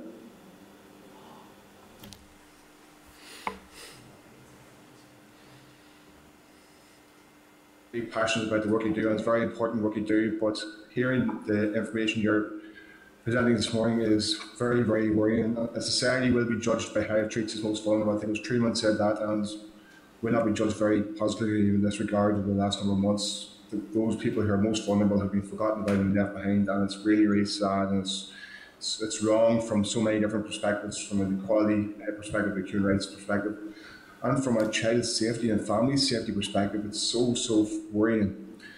Um, I know there have been many issues already touched on, and I know that, that, that I guess it's an issue you've just touched on there, Rachel, which is the broad and diverse spectrum of needs for kids is extraordinary. Now we're talking about somebody from somebody who's got mild autism, maybe dyslexia, who has classroom assistance, to somebody who has complex needs. And I'm most fearful for those kids who have complex needs, but the impact is just as big as on those kids who have dyslexia, who have missed out on their classroom assistant and their, their special attention. Those people who have got autism who have missed out on their, their classroom assistant over a number of months and they're falling behind, and the teachers, when they get back in, this, in their classroom, their teachers are trying to play a catch up. So the point I want to touch on is the reality of the situation where kids have been left behind for some months, left at home, trying to do online learning, which didn't really work for them because of the, the whatever uh, challenges they faced individually. And then the teachers bring them back in the classroom, they're trying to catch up with them. And teachers are trying to ride two horses here at the same time. They're trying to ride two horses. They're trying to plan for exams, prepare for exams, which are starting on Monday. So a young child with autism who's been left behind for months, who's been left out for months, has an exam on Monday where he has not been able to catch up on. Teacher has, is focusing in on that, but at the same time, the teacher is also planning for maybe that exam might mightn't go ahead. So they're keeping a file, they're trying to keep notes, they're trying to keep uh, a day-to-day record of how the, the children are progressing and trying to manage that and it's just not working. So they're trying to double up. So there's a system of doubling up, which is really, really exacerbating the situation both both ends. So just like your perspective in terms of how you see that manifest itself at present. Well, I think it's, it's, I think what we're going to see, it mightn't even have presented itself fully yet, but we're going to start to see the outworkings of that problem um, in the sense that children's needs are not being met. They haven't been met for some time. Um, we're hearing from some parents that their children have regressed. So skills that they had learned skills that they have because they'd had a package around them that had their classroom assistant, or if they had dyslexia, that had maybe one to one specialist literacy support. That's an extremely important service for those children because it unlocks their potential. And if you take that away, you're closing a door, and it's very hard to get it back open again after a certain amount of time has passed. So, those support services, you know, those need to be there as a minimum for those children to even operate or function or access a curriculum at all. So, they can be in the school but accessing no education. So physical presence in school is not the same as equality of access to the curriculum. Um, so the supports need to be that have been restricted or stopped need to be put back into place so that the package is around the child. Then you're having to deal with getting the child back to where they were so that they can actually demonstrate their competency in an exam, making reasonable adjustments for their examinations so that they can fairly demonstrate their abilities and take an account of what has happened to them. And, and I fully sympathise with, with teachers who don't know whether children are going to have an exam or not and are maybe having to assess. And I wonder how our children with special educational needs accessing those assessments or demonstrating their capacity and their, comp- their, their capability in, in different subjects if their supports have been taken away from them. And how do we account for that? And how do we fairly represent those children? I don't even think we've begun to see the outworkings of this yet. I think all of that is coming down the line. Um, and I am very, very concerned we, we have a lot of children with very complex needs who are actually in mainstream school now because we have a policy of inclusion. For, for the sake of equality, children with complex special needs can attend mainstream schools. It's their legal right to do so, and it's their legal right to be supported so that they can fully access the curriculum. So if they're not fully accessing the curriculum um, because they have a special need and they've been treated less favourably, it's possible they're suffering disc- discrimination on the ground of disability. So we need to be thinking of it from all angles, and it's very difficult to put all those pieces of the jigsaw together at once. And you're having to look at the individual circumstances. Um, but I think as a, as a basic principle, the package that the child needs and has been assessed as needing needs to be in place to enable them to catch up. Children are resilient, they can't catch up, uh, and they can be nurtured and they can be given support. Um, but are they going to be back where they started in the next couple of months? Many of them won't. In terms of therapies that were available to kids before, speech and language therapy, that even occupational therapy, even physical therapy, um, kids who've lost out on that for so many months, how has that impacted their mental well-being, their, Yeah. their physical health and their mental health and emotional health and well-being? Those those therapeutic inputs are extremely important because again they are the key that unlocks access access to the curriculum. So if a child needs OT support to help them with handwriting, um, to help them to physically um, cope in the classroom, to help with their sensory needs, and they need speech therapy to enable them to communicate and to socially communicate with peers, or they need behaviour support to help them to behave at, and, and stick to the rules in school and to manage their emotions within the school uh, environment. And if they need literacy support to enable them to read and write and problem solve. Um, or if they need psychology support to identify what their needs are so they can be provided for. All of those needs. Um, you know, the thing about it is, if you if you take the steps, you assess the child, you identify the needs, and you meet that need at the point of need when it, when it's there, rather than having to wait for it. You provide that support. The child can then function. They can be happy and comfortable in school, and they can learn, and they can access their education. And if you take out take that all away, you might have a very frightened child sitting in school thinking they're stupid, thinking that they're not as good as everybody else, and thinking that they're a second class citizen uh, and suffering emotional harm and impact as a result of that. Um, and we don't have to let that happen. If we put the support in place, and schools have been very proactive in, in trying to get keep support going and keep IEPs going for children and targets and target setting and trying to operate as normal. But the disruption, the impacts of the disruption, um, you know, we're not going to see those for a while. What they are. I mean, I have I have a client who's hiding in the grounds of his school at the moment because he can't go in the front door. Um, and I've had to I've had to go to quite some lengths to get that child some support from educational psychology. Um, you know, so a child hiding in the grounds of the school while his mother drives around in circles thinking he might go in, and then after an hour she takes him home.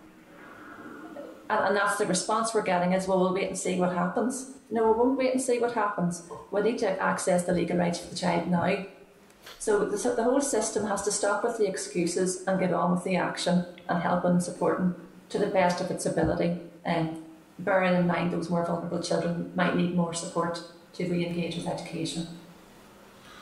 Here, listen, I understand you guys. Uh, my offices have been inundated with people come and get in touch with me with uh, kids who have got real challenges and whose parents are under extreme duress. And I know the teachers are feeling the same way, and they feel they feel like their hands are tied. And I'm just concerned that you know, the case that we're discussing this morning, the kids that you're very familiar with, Rachel and uh, Kathleen and Neiman, that those kids and those families will just become a statistic. What do we have to do? What has to happen in order to address this issue now so it can't be discussed next year, six months' time, or next year, or five years' time, and saying, this is what we should have done, or could have done, it's what we must have done. And you talk about action. What is the action that must happen now in order to protect these kids and families? The solution that, that we have proposed in our papers and that we think is the, is the way to, to make a longer term impact on this is to properly use the Children's Services Cooperation Act and create a Children's Services budget um, under the Children's Strategy, which I think is before the executive or is coming before the executive soon.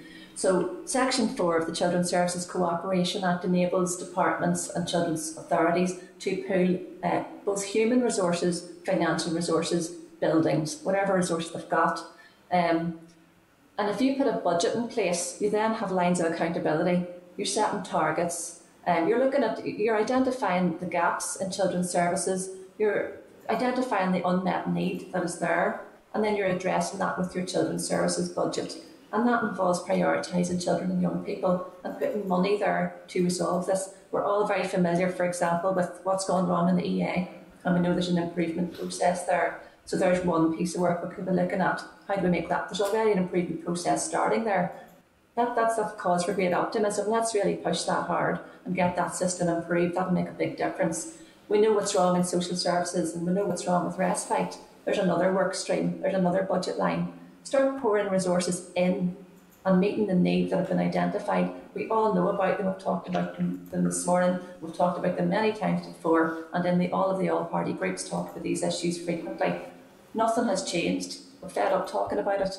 The only way to make it uh, change is by taking action, and that is, I think, by setting up a children's services budget um, targeted at the gaps that we know are there. Okay, Justin. Thank you very much. I'm having come in just with three very, very brief points on top of that in terms of the Children's Service Cooperation Act. Um, one major concern we have in terms of special needs, um, obviously the Education Authority, there's an improvements programme. There's a huge backlog in terms of assessments, educational psychology assessments and children accessing statements. And I think that that needs to be addressed in terms of those children who need to be assessed, that they can't be put on the back burner for assessment. They need to be assessed now um, so that statements can be progressed, particularly those children who haven't had a statement before or whose needs have changed. And we're talking about children who might have regressed because they've been out of school. So there needs to be access to those assessments in order to put in place the correct um, support measures for children when they're back in school. In terms of a very practical solution, children need to be able to access counselling and support services in school.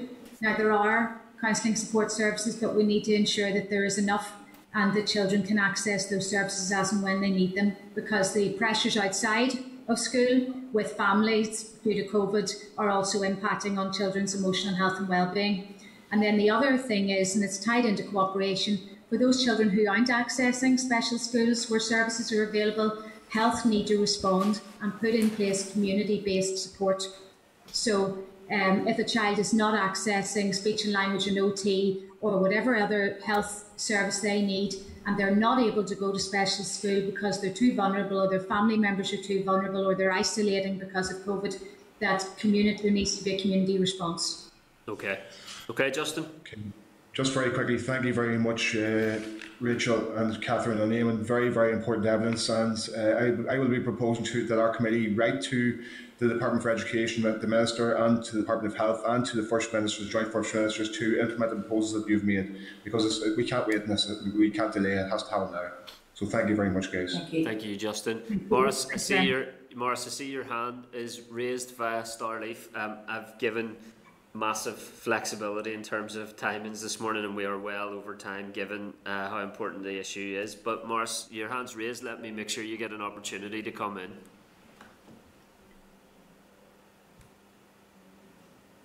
Is Maurice there? Ah, well, I was here. there you are, Maurice. You thank you. Yes, go ahead. Thanks. Hang on, I've lost connection. I can't see you. Oh, there we are. We can hear you. Yeah. Listen, I apologise for missing the, the, start of the meeting uh, uh, and the presentation. But if you've covered this topic that I'm going to raise, well, again, I apologise, but it's around the, the, the volunteer scheme administered by the Department of Health and volunteers coming through the, the uh, Department of Education volunteer scheme. Are either of these tools of assistance available? And if they are, are they being utilised? Uh, that's something we, we had touched on a little bit there, and from what from what uh, we can tell, if you go onto the Department of Education's website and look at their uh, volunteer scheme, it says that they have recruited a thousand volunteers, but they haven't needed to use any because schools are, are coping just fine. Now uh, that was probably written some time ago, uh, certainly not the case now. So one of the questions we're asking, we don't know uh, why aren't these volunteers being used, and they need to be trained up so that they can do the job properly. Um, in relation to health, I'm not certain uh, what the situation is. Uh, other than that, there are simply not the staff on the ground. Um, and certain parts of the social services that I've been interfacing with seem to be very uh, sort of fixed on the notion that they'll only use staff from their own team and not maybe looking outside that to other potential sources of people that might be able to help. So, for example, education volunteers could maybe help in health after school hours are over, so they could help some of those children with special needs after three o'clock by doing some activities with them and things like that. I, I don't see much planning around that. I don't see any coherent planning, uh, to be fair, across all of these different services, and I think that needs to be brought into focus. I think the issue of volunteers um, or, or backup um, people on the ground, human resources to help health and education is a vital issue. And, and we'd be grateful to the committee if they would ask some questions around that to get some clarity about it. Thank, thanks very much. And I'm sure the chairman will take that up uh, after this presentation. Uh, I'd like to thank you for your answers so far on remote education, but I would also keen to hear your thoughts on schools being uh, open at times when they would not normally be open, provide education and uh, parental respite during the pandemic. And what can this committee do to aid the out of hours opening of schools for children with complex needs? And I suppose the associated care and support that they require, and what respite that that may give to the families. Yeah, during lockdown, um, there was facility for vulnerable children to um, and key worker children as well to go into school at, a, at times when school is closed to other pupils. Um, and we would actually have expected a vulnerable child scheme to have continued to operate continuously throughout the pandemic because there are various reasons why there are disruptions to school. So we've had our circuit breaker and we've children off because they're isolating and we've children at home who should be in school for a whole range of reasons. Um, so our proposal would be that there should be a, a coherent uh, cross-departmental, multidisciplinary, vulnerable child process that is transparent and open, visible and accessible um, to all those who want to refer children into it, uh, probably with a single point of entry and a lead partner so that it can be properly um, and coherently managed and there can be a point of responsibility. Uh, and that needs to be, that stopped. The vulnerable child process, as far as we know, stopped on the 30th of June. Where is it now? Where's the new and improved version? Let's have it and let's have it up and running um, so that any of these vulnerable families, as they arise, can be referred into it and given the right support. So if we identify them and we can see what help they need, give that help to them, um, then that'll, that'll certainly make a big difference. Um, so when schools are closed to other pupils, what we would suggest is that it's still open to um, complex, vulnerable children who have safety requirements to be out of the home. Thanks very much for that, and thanks, Chair, for your patience.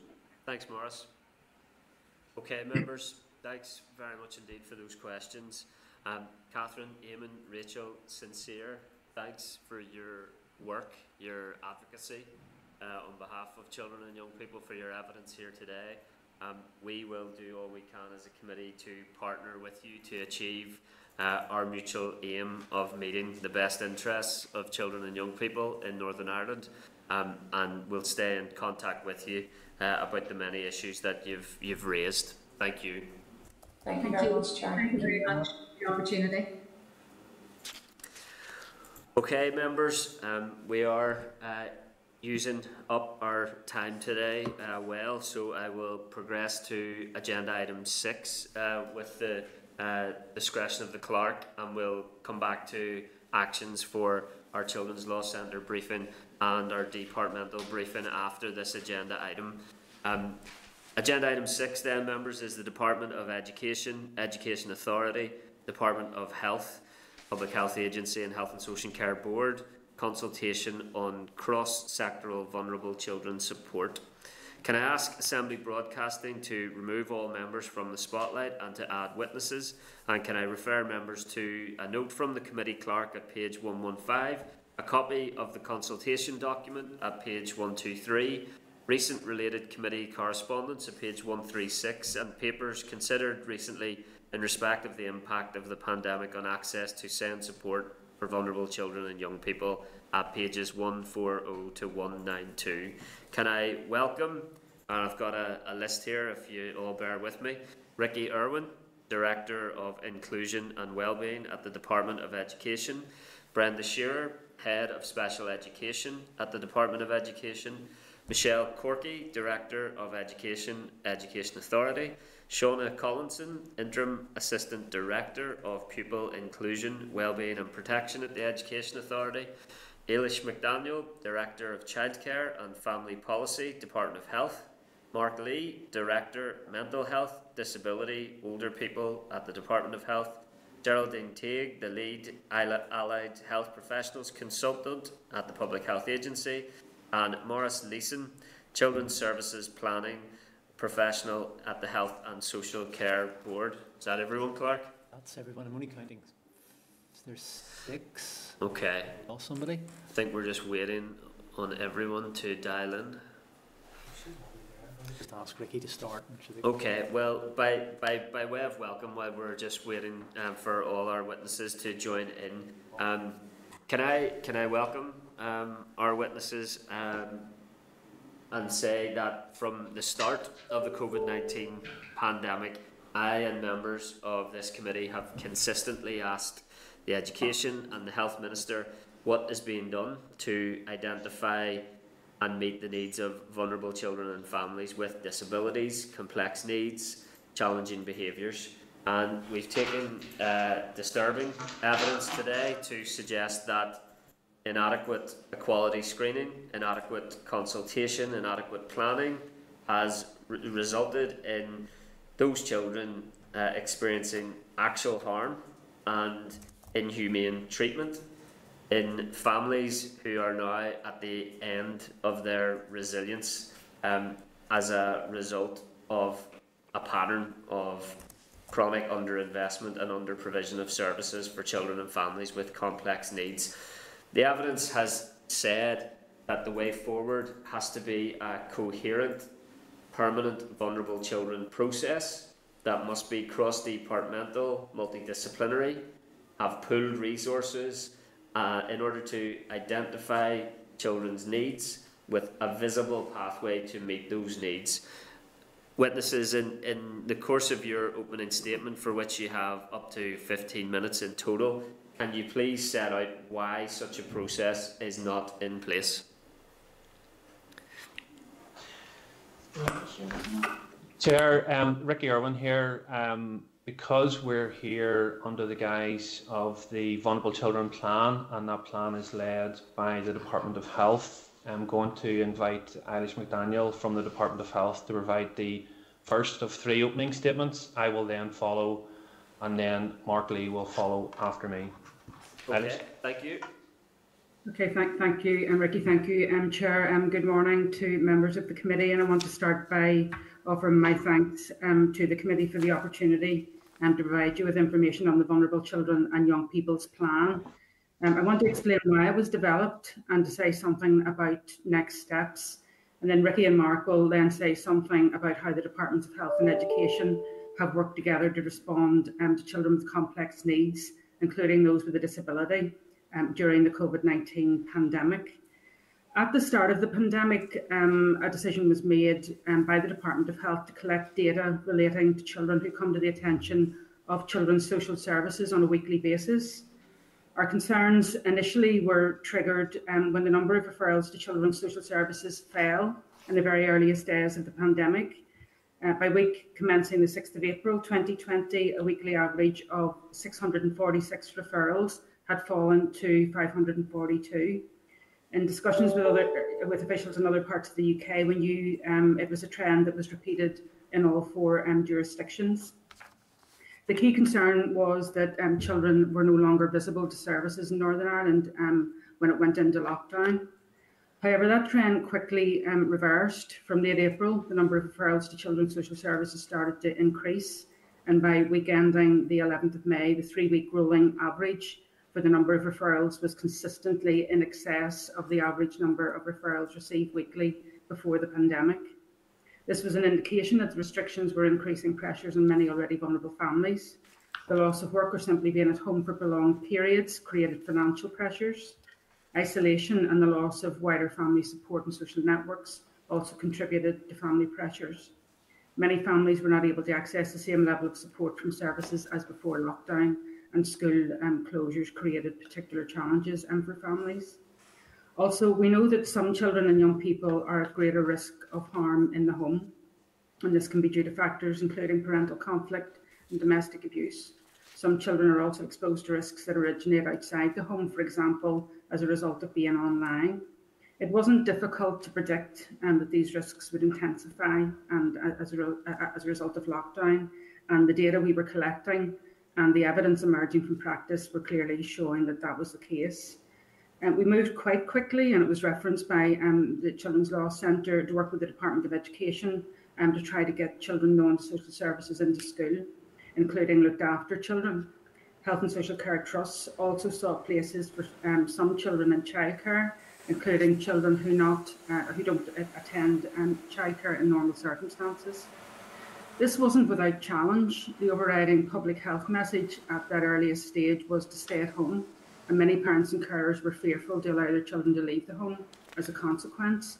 Indeed, some children um, were fearful um, to leave um, their homes because of the risk that they thought they posed um, to their parents um, or carers. Arrangements um, were also agreed with the police at a very early stage to closely monitor families where domestic violence was known to be an issue.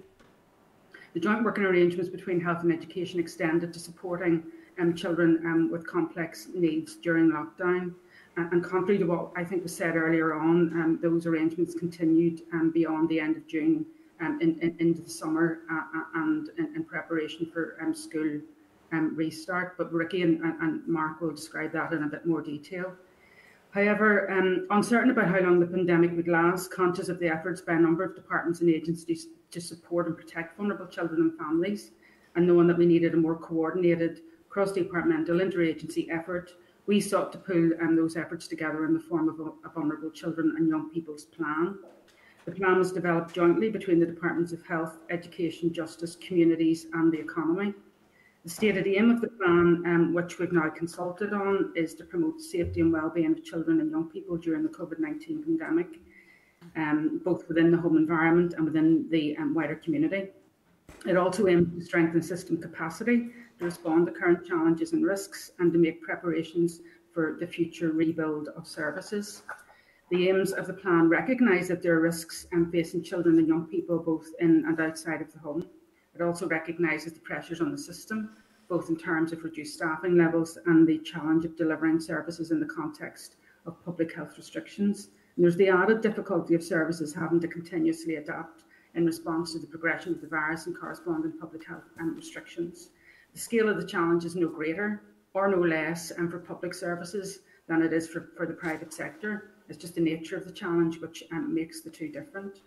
In terms of the definition of vulnerable child, we cast the net um, very widely. It's intended to include children and young people who were receiving support before the pandemic, as well as those who were experiencing increased pressure as a direct result of the pandemic. It includes children known to um, Children's Social Services, including children on the Child Protection Register, in care, on the edge of care, care leavers, and children placed for adoption. It extends to children in receipt of child and adolescent mental health services, those who have a statement of special educational needs or access any EOTAS provision or education nurture units. And it also includes children not known to statutory or voluntary and community support services, but who are vulnerable because their family is under increased pressure due to COVID 19 related circumstances. And asylum seeking and refugee children um, and young people whose parents have no recourse to public funds are also captured by the definition. The plan reflects how services have adapted and enhanced um, provision um, to continue to support children and families during COVID 19, as well as new actions that have been undertaken specifically to address um, some of the um, risks and challenges. A key element of the plan is ensuring that um, children and families know how to access um, supports, and particularly those that weren't available in the usual way. This includes the promotion of helplines such as the NSPCC helpline and the Domestic and Sexual Abuse helpline, uh, which were both advertised across TV, radio, and social media early in the pandemic. It also involves signposting families to sources of help, um, for example, through the family support um, hubs through the COVID 19 um, uh, and, and through the COVID 19 community helpline. We've now got 29 family support hubs um, that operate um, across Northern Ireland, 600 organisations actually attached um, to those hubs providing um, supports um, to families. And I can tell the committee that, um, that through the hubs, families did continue to receive um, uh, supports. Um, the plan also includes direct support that have been provided to families, for example, provision of digital devices to support home learning, additional funding to support families where there is domestic violence, and support for those who need access um, to help, sorry, need help to access food through additional investment in FareShare, which is a national network of food distributors. In terms of capacity building, this includes putting in place protective measures to allow staff to deliver services to families safely, uh, measures to ensure adequate staffing levels are maintained and delivering services in different and innovative ways. We've put in place more frequent data collection um, to ensure that we have the most up-to-date um, information on which to base um, decisions and have continued um, to issue um, guidance in response to changing circumstances. The plan was approved by the executive and issued on the 18th of September for an eight-week consultation, um, which closed last um, Friday. There have been 47 responses um, received from, from a wide range of organisations, including CLC, who you've just um, heard um, from, and those responses um, are currently being analysed by the Department of Health on behalf, on behalf of other departments at this stage. I mean, I, I want to uh, emphasise that this was an emergency plan developed in response to public health emergency. It wasn't intended to be, nor is it a substitute for longer term planning under the Children and Young People's um, strategy and associated strategies relating to vulnerable groups of children and young people and or their families. The planning process enabled us to identify and articulate risks and challenges experienced by children and families um, during the pandemic, um, to identify what departments were doing in response to those challenges and risks, to identify gaps in provision, and to promote um, new responses. The pandemic has prompted, in some cases out of necessity, services to, to be delivered in innovative and new ways. I, I think it's important that we capture um, the lessons um, learned, both both good and bad, um, from this experience, and to recognise the extent of the challenge for some children, young people, and their families. It'll also be important um, to ensure that those lessons learned are applied when we're planning and delivering for vulnerable children and young people um, into the future. And I want to assure the committee that that is what we um, intend to do. At this point, I'm just going to hand over um, to Ricky. Thanks, Eilish. Thank you, Eilish. And thank you, Chair and members of the committee, for the opportunity to brief you on the support offered to vulnerable pupils during COVID-19.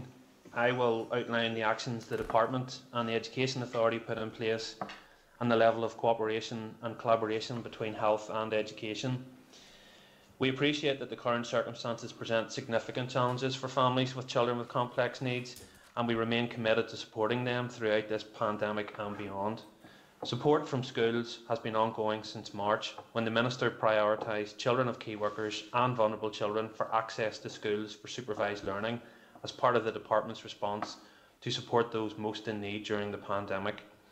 A daily survey was established to monitor the numbers attending schools, which included key workers' children, those known and not known to social services, and those with statements of special educational need.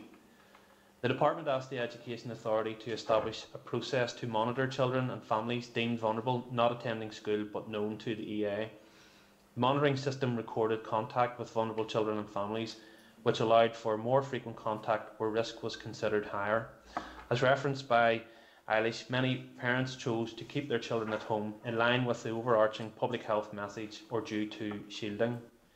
Recognising the low numbers attending and the protective factor provided by schools, the Minister wrote to school principals on the 11th of April, asking them to work with parents, the Education Authority, and where appropriate, social services to urgently identify and assess vulnerable children at their schools to determine if the best interests of the child would be met by supervised learning. Detailed guidance was published on the 10th of April for schools, parents, and carers. The Education Authority moved many pupil support and SEND services to remote and online delivery to maintain contact and provide support to families. Support for vulnerable children was prioritised.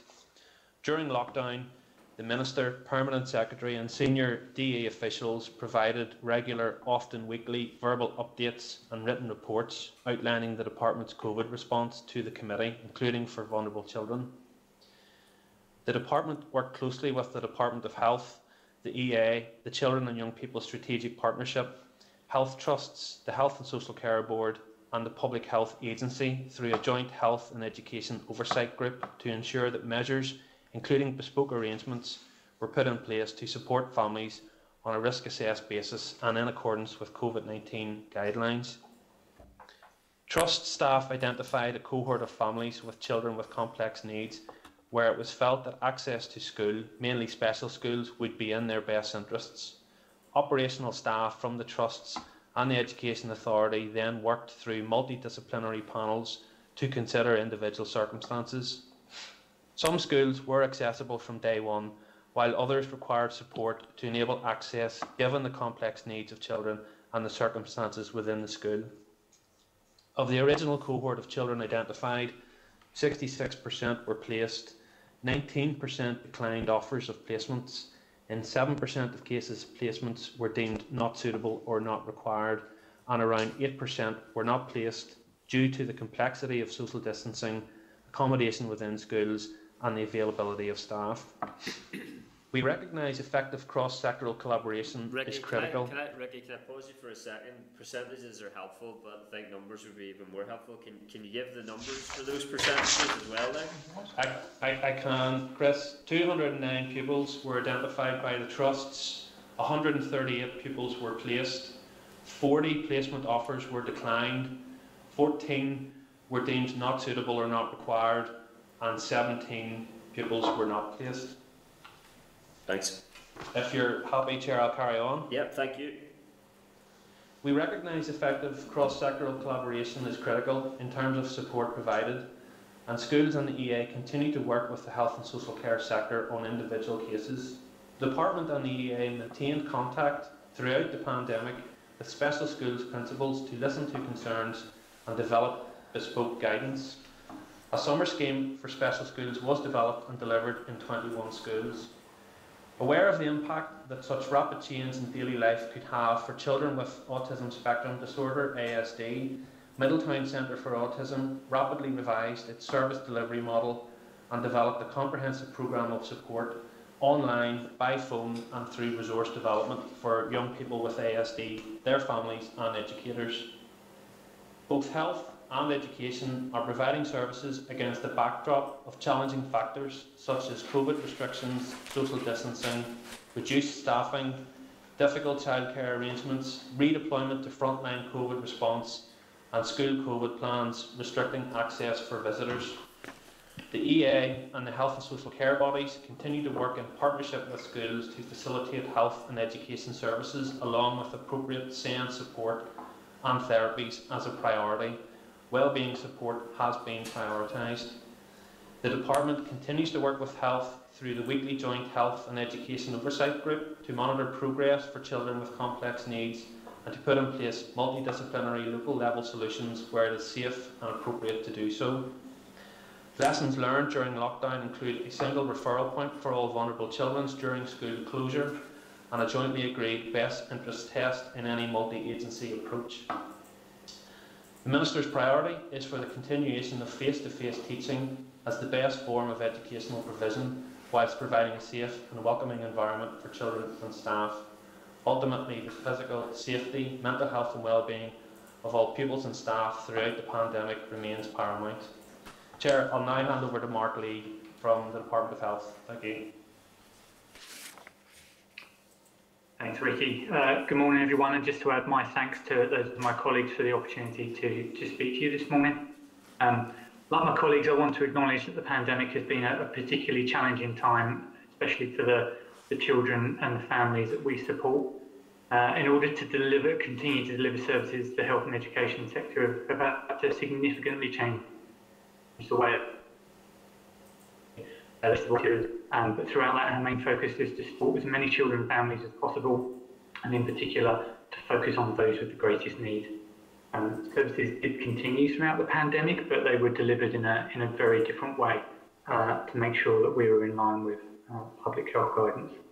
Um, I just want to assure the committee that the department is acutely aware of the challenges that the pandemic has placed uh, upon families during what is an unprecedented time. Um, the speed with which decisions were made to manage COVID-19, including the sudden closure of schools um, and the need to find new ways of delivering services, uh, undoubtedly had an impact, as I'm, I'm sure you've been hearing. Um, in addition, the public health measures required to manage the transmission have impacted on the ability of staff to deliver face-to-face -face services at the same level that they were delivered uh, pre-COVID-19. Uh, um, and I, I'm acutely aware that the longer the current situation continues, the more the challenges build for young people, carers and their families.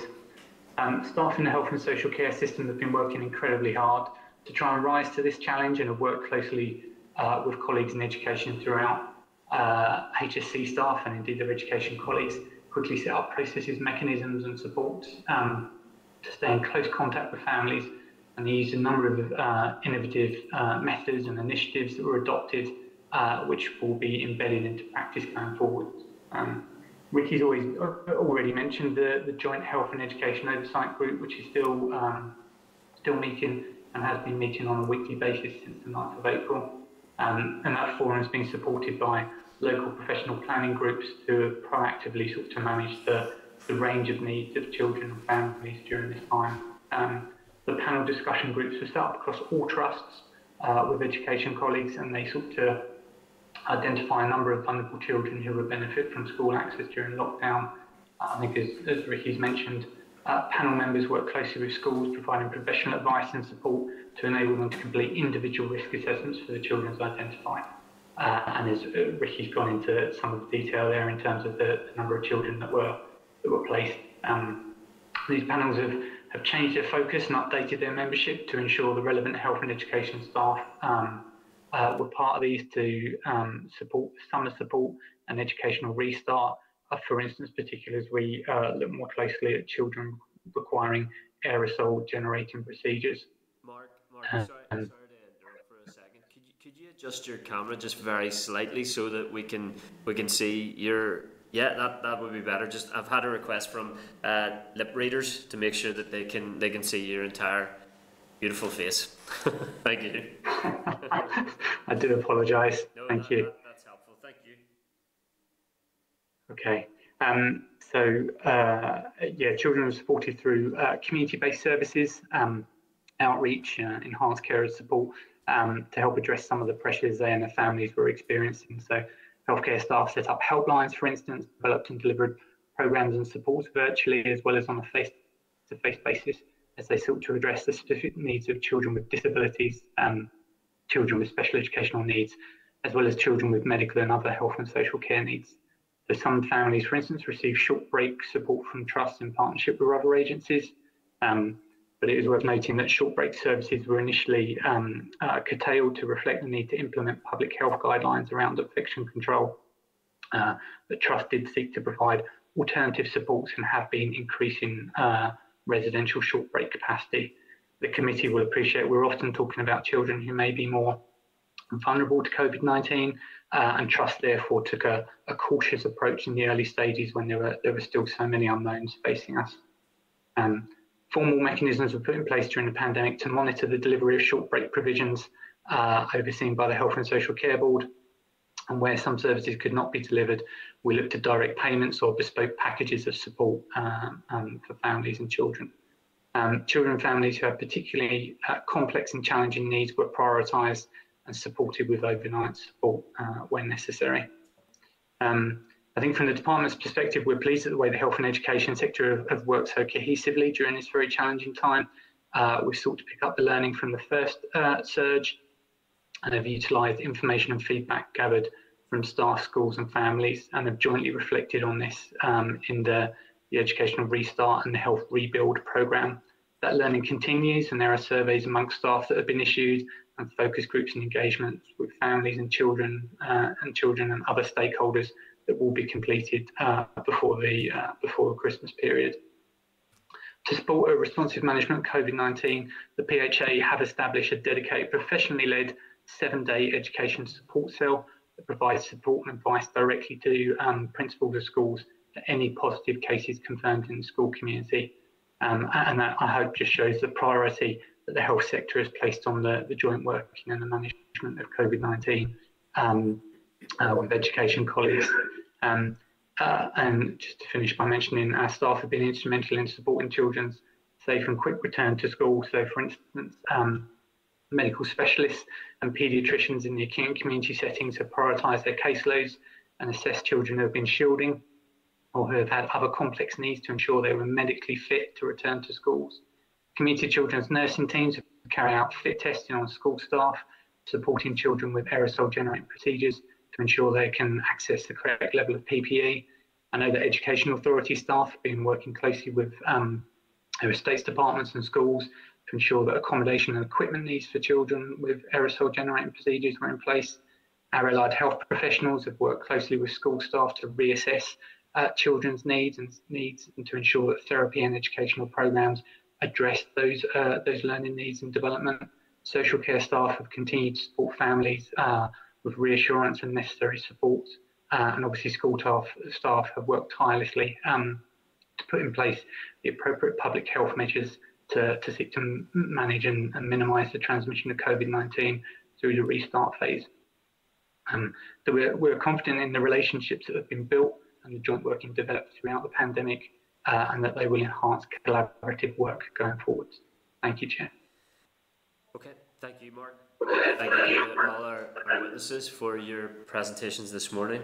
Um, suffice to say, that evidence is not entirely consistent with the evidence we've received uh, from organisations, from families uh, of children with complex needs who, who feel like they have um, been abandoned. Um, members will have a wide range of questions, so I'll try and uh, get straight to it. Uh, I'll keep my questions as concise as possible, and if we can keep our answers as concise as possible as well.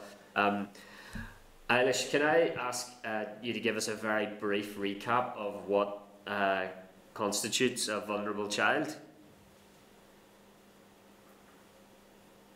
I think you're on mute, Eilish, sorry. Apologies um, no for problem. that. Thank you. It captures children who are known to um, social services either through the um, child protection system, through the care um, system, um, and also includes children in, in, in, need. And we've got considerable numbers of children in need who are referred to um, social services on, on an annual basis, around 34,000 um, in, in, a typical um, year. Um, covers children who access um, CAMHS services, children who are in EOTAS provision, access nurture units within schools. Um, but it also um, captures um, children and young people who um, may not have been known to services um, before the pan pandemic, and that's recognising that the pandemic um, generated challenges for, for, families that weren't present prior to the pandemic. So it's it's intended to cover that group of children and young people and also and then the final group are, are children and young people who are asylum seeking or, or refugee um, uh, children with no recourse to um, public um, funds. That, that's it briefly, um, Chair. Yeah, no, that, that's, that's helpful. And also children with a statement of special educational needs? Right, absolutely, yes. Okay, and uh, I realise this would be difficult, but uh, do you have a, an approximate idea of the number of vulnerable children in, in Northern Ireland? Okay, so I mean, I, I, I know the numbers of children who are known to um, social services. You know, so uh, there are three and a half thousand children who are looked after, um, around 2,400 children on the child protection register, um, around 24,000 um, children um, in need, and I've referred to the number of referrals um, to social services in, in any given year. So that, that's children known to um, statutory social services. Okay. In addition, okay. know that children are referred um, to family support hubs, um, for example. So last year, around seven and a half thousand children um, referred to um, family um, support hubs. But I'm also conscious that we know that there are around 107,000 children actually living in relative po poverty, or 91,000 children living in absolute um, poverty. So I, I, I, think the number is, is, is significant okay. in terms of the overall um, child population. Okay briefly, just in addition to that, then, Ricky, how many children um, have a, a, statement of special educational need or, or, or are in special schools? latest figure in terms of statements, um, Chair, would be 19,200. Uh, in, uh, of which um, in special schools, the special school population would mostly consist of children with special educational needs statements. It's around 6,000. The remaining 13,000 with statements would be in mainstream. Okay. So, tens of thousands, um, at least, uh, of vulnerable children in Northern Ireland. Why then was the multidisciplinary panel process dealing with 200 children?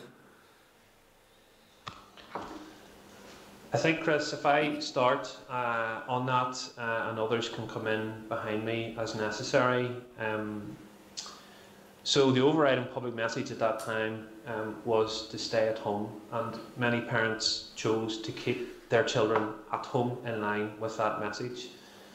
However, some children with very complex needs were identified by the trusts and brought to the attention of both departments and various bodies. Um, so we were guided by those those numbers and, and the trusts in terms of uh, of the children, uh, and that's where the 209 figure uh, comes from.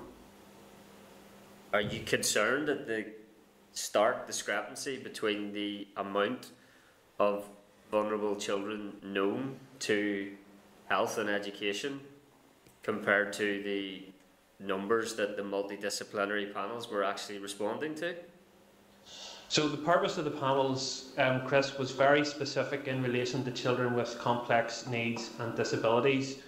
However, um, the Education Authority, through its various services, was actually dealing with many thousands more of children and in regular contact um, through those services on a risk assessed basis. So, in some cases, families were being contacted on a daily basis, those that were known to child protection and education welfare and so on, where the risk was higher. In others, you know, through the youth service, contact may have been on, on a weekly basis. So, actually, when you look uh, at it, the multidisciplinary process was a very focused process for those children with the most complex needs. Um, Chair, Chair, can I come in behind Ricky there just in response um, to that um, question? Uh, I mean, it suggests um, that we weren't providing supports for um, other very vulnerable um, children and young people, and, and I can tell you and with absolute certainty that Children's Social Services continued to operate um, throughout um, the pandemic. Um, it, we put new regulations in place to support them um, to do that. Um, there were no services, no children's social services um, suspended um, during the period um, of the pandemic. We may have given social workers a bit longer to undertake some, some work. We may have allowed them to um, do things in slightly different ways, but they continued to respond to, to, to respond to ch children in need, became okay. to their attention to children who need, were in need of protection and, and to the growing numbers of looked after um, children um, who, who, who, they, who they have been looking after um, okay. throughout the pandemic um, period. Okay. I, I, just want to read for the committee of that point. That's helpful. But obviously, out of thousands of special school pupils, that multidisciplinary panel dealt with 200. Ricky, you said that the minister wrote to special schools um, to ask them to support the pupils for whom it would be in their best interest to be at school. What support did the Minister give to special schools to make that possible? So, Chair, the Minister wrote to all school principals in relation to all children um, deemed vulnerable, uh, asking them to identify those children and make contact with those families. Specifically in relation to special schools, we did engage from an early stage with the special school principals in terms of developing bespoke guidance. So uh, the department issued quite comprehensive vulnerable children um, guidance early on uh, in April. We then worked specifically with special school principals to um, provide supplementary guidance which identified some of the specific issues for special schools and we then continued with that engagement with the special school principals along with the EA um, throughout the period uh, of lockdown. I'm sure they were very grateful for the guidance. What practical support was provided to the schools given the, extreme, the exceptional circumstances in which they found themselves? So uh, I suppose there, there were a number of elements to that, in, including um, funding that had been allocated uh, in year. So uh, many uh, millions were actually um, allocated to special schools through um, the monitoring rounds uh, and also in relation to um, the restart and the COVID response. So um, we know that uh, back in the uh, earlier monitoring rounds, there was specifically 3.4 million that was provided to special schools. There was a further uh, allocation of 3.2 million that was provided to special schools. There was also further allocations in relation to dealing with COVID-19 pressures of around 3.3 million, and there was also funding provided in relation to uh, PPE of around 2 million. Okay, thank you. Briefly, because I had pushing my time here. Um, of the 200 uh, children that were referred to the multidisciplinary panel process, um, you said roughly 20% declined uh, the proposed support. Do you know why?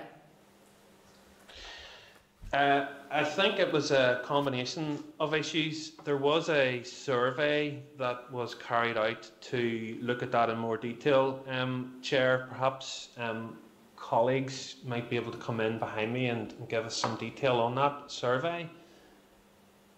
Ger- Geraldine and Maurice are actually on the line there, so uh, if either of you could come in on that point, or, or Shona. Yeah. Yes, um, Chair, Chair, first of all, apologies. Um, uh, Geraldine Creek from PHA and myself, Maurice Leeson from the Health and Social Care Board, are on the phone, and apologies. We um, uh, our attempts to log in by video um, uh, defeated us. Um, uh, in terms of, uh, of the question around the reasons given for uh, declining the offer of support in the school, uh, I think for some families uh, they had to weigh up uh, whether or not um, uh, the the offer worked for them, whether or not they, they, they wanted to take it. Some felt that uh, it wasn't appropriate for, for their children, were concerned about uh, their, their health uh, when they were in school. So there were a number of reasons why offers were turned down. Okay. Sorry, it's, it's Sterling here just coming in as well. Um, just in support of what Eilish has said, there has been ongoing support. So though the numbers there, the 209 um, considered, and the number that's placed in relation to that, the health um, staff, um, health and social care staff, as well as our education colleagues, continue to support the families through a range of measures and means. So though even those that have been placed and, um, and successfully placed, our staff were out working and providing um, telephone helplines, check-in with parents, um, doing video um, demonstrations for parents, but also for those particularly children with the most challenging, very complex healthcare medical needs that needed um, chest physiotherapy, that needed medical input, there were face-to-faces required, that we were um, still delivering that, and also providing the reassurance to parents and carers at a very difficult time whenever the advice was stay at home um, and giving them the support and um, advice with, with relevant PPE that we could work and continue to support the child. And Chair as well, I mean, the social workers remain involved with the families and many of the existing services also continue. And as Eilish has alluded to, our early intervention work continued, and Eilish mentioned the family support hubs. Uh, and um, uh, in the first six months of the year, we had 4,000 children referred there, and 793 of those were children with disability. So we were able to, to identify supports for, for those children as well. I mean, Okay. there was a massive job to move a lot of what we uh, used to provide on a face-to-face basis onto online, and all of that that took place, and, and all of that was available for, for families. Okay, I, I'm over my time. Last question. Um, the seven percent um, who whose uh, offers were not suitable, and the eight percent that weren't placed. What were the reasons for that? So I suppose, Chair, we had done um, some ongoing work led by the Children with Disability Leads and our EA colleagues um, directly with families. Um, because of the announcement by the Minister, um, the Joint Ministers at the 10th of April to um, prioritise and work closely with families to try and place these children with access to supervised learning, um, we moved quickly and as you would be aware of, we developed an oversight group even, in even prior to the, the announcement. Um, our, we kept close with local colleagues and engage with families and as um, Ricky and Maurice alluded to, a number of a range of um, needs and difficulties, some of which were the was in the timing that was delivered. Um, also that whether they felt that it really truly met the needs because we also have to recognise that school was a very challenging um, position with the, the access staff and health did support and our EA colleagues in delivering that. Um, and also others that they, they were anxious still about their child um, going out into the local community, going into a, a school environment with other members of staff and other children, and also that the support in some cases that they were receiving, they felt were, was meeting their needs at that time. So that was some of the range of um, um, feedback that we have received from our engagement with families directly. Okay, many more questions, but I need to stop. Karen Mullan, MLA, Deputy Chairperson. Thank you, Chris. I think we all have a lot of questions. Unfortunately, we'll not get them in, but uh, thank you all for uh, your presentations this morning. I just want to pick up very quickly on the family support hubs. It's an area that I have very keen interest in. Uh, you talk there about the 4,000 um, referrals. Um, I suppose I would like to see a breakdown. I would like further information on the referral, what those referrals were and the support that was provided. And also, I would like to ask um, was extra resources given to the family support hubs to be able to, to cope with the increased demand? Maurice or Eilish, could you answer that? Uh, it, uh, Karen, it's Maurice here. I, I can answer that. Um, uh, so it, I, I have a, a full uh, report card covering the period April to June. I also have one for last year, so I can make those available to you, and those will set out um, the, the activity that took place. I would particularly commend you the one that uh, covered the period from April to June, because it not only breaks, I think it'll give you all you want, because it breaks down all of the reasons for the referrals, uh, and also covers it has a piece in it around learning from COVID. So there is a lot of information there in terms of uh, reasons for referral, how work, how the hubs and their partners work differently in order to meet need, what the emerging issues were that were coming from from the hubs, uh, and some of the anticipated need barriers and challenges going forward.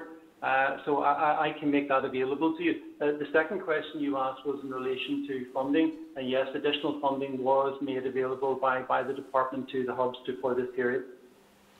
That's brilliant, uh, Maurice, um, because the partnership model and the collaboration within family family hubs, my experience of um, the, the community sector is that uh, they work they are a very very good model of working. So it's good to hear that they were invested in over that period. Um, so just in relation to what, what we heard this morning from the Children's Law Centre, and he's he's heard the, the, the discussion earlier, so there's no need to go over it um, in relation to that. But what we're hearing from the Children's Law Centre and from children and from families in particular is that in terms of the second uh, restrictions, the experience was not any better. Um, the experience is not improving for, for a lot of families on the ground. Um, and not only that, um, you know, it was clear this morning that they were saying that in the second wave of restrictions, that uh, there not only was there not improvements, but it got worse. So for us, the question has to be, how can that be? And just to follow on from that, I wanted to ask if anyone could explain um, uh, why uh, SEND support for children with autism was not provided when there is a legal obligation to do so. And we know that there's a lot of that support that is still not being provided. So, Chair, maybe if I try to start um, to answer some, some of that. Um, Karen, um, so I suppose the key the key thing is in, in terms of uh, schools restarting at the beginning of term there, that was something which, of course, um, we very much welcome for all um, vulnerable children.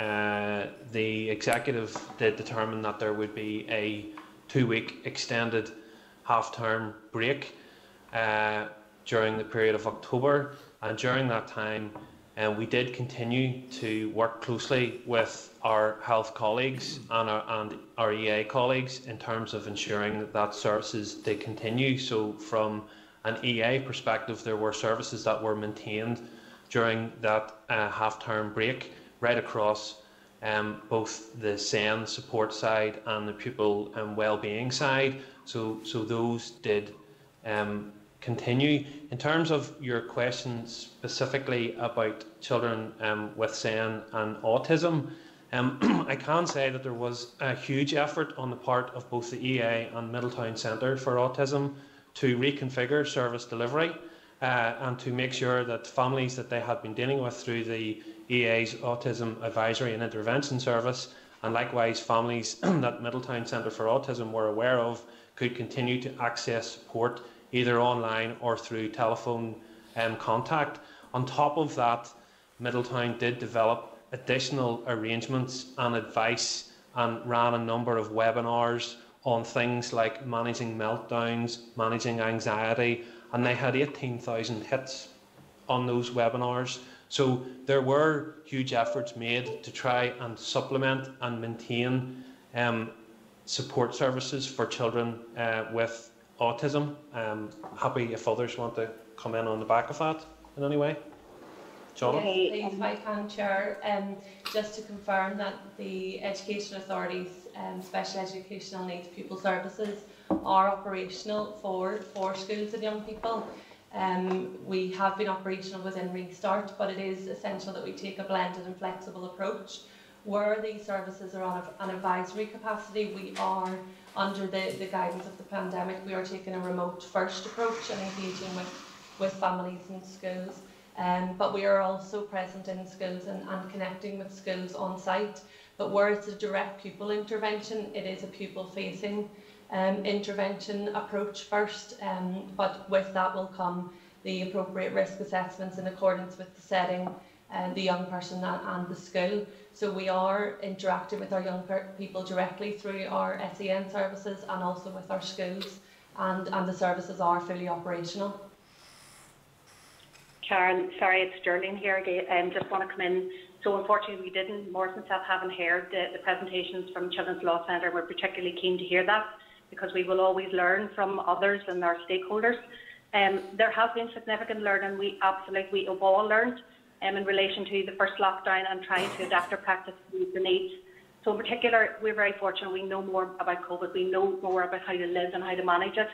Um, we also know that um, the public health guidance and where we have supported in that lockdown and that support, both in summer support but also the education restart, working very closely with our Department of Education colleagues in putting in place public health um, measures and mechanisms to enable schools to open safely and manage the large number of pupils. Um, we certainly listened, to our health and education workforce have looked at what worked best during that lockdown period when our sales were under challenging um, situations.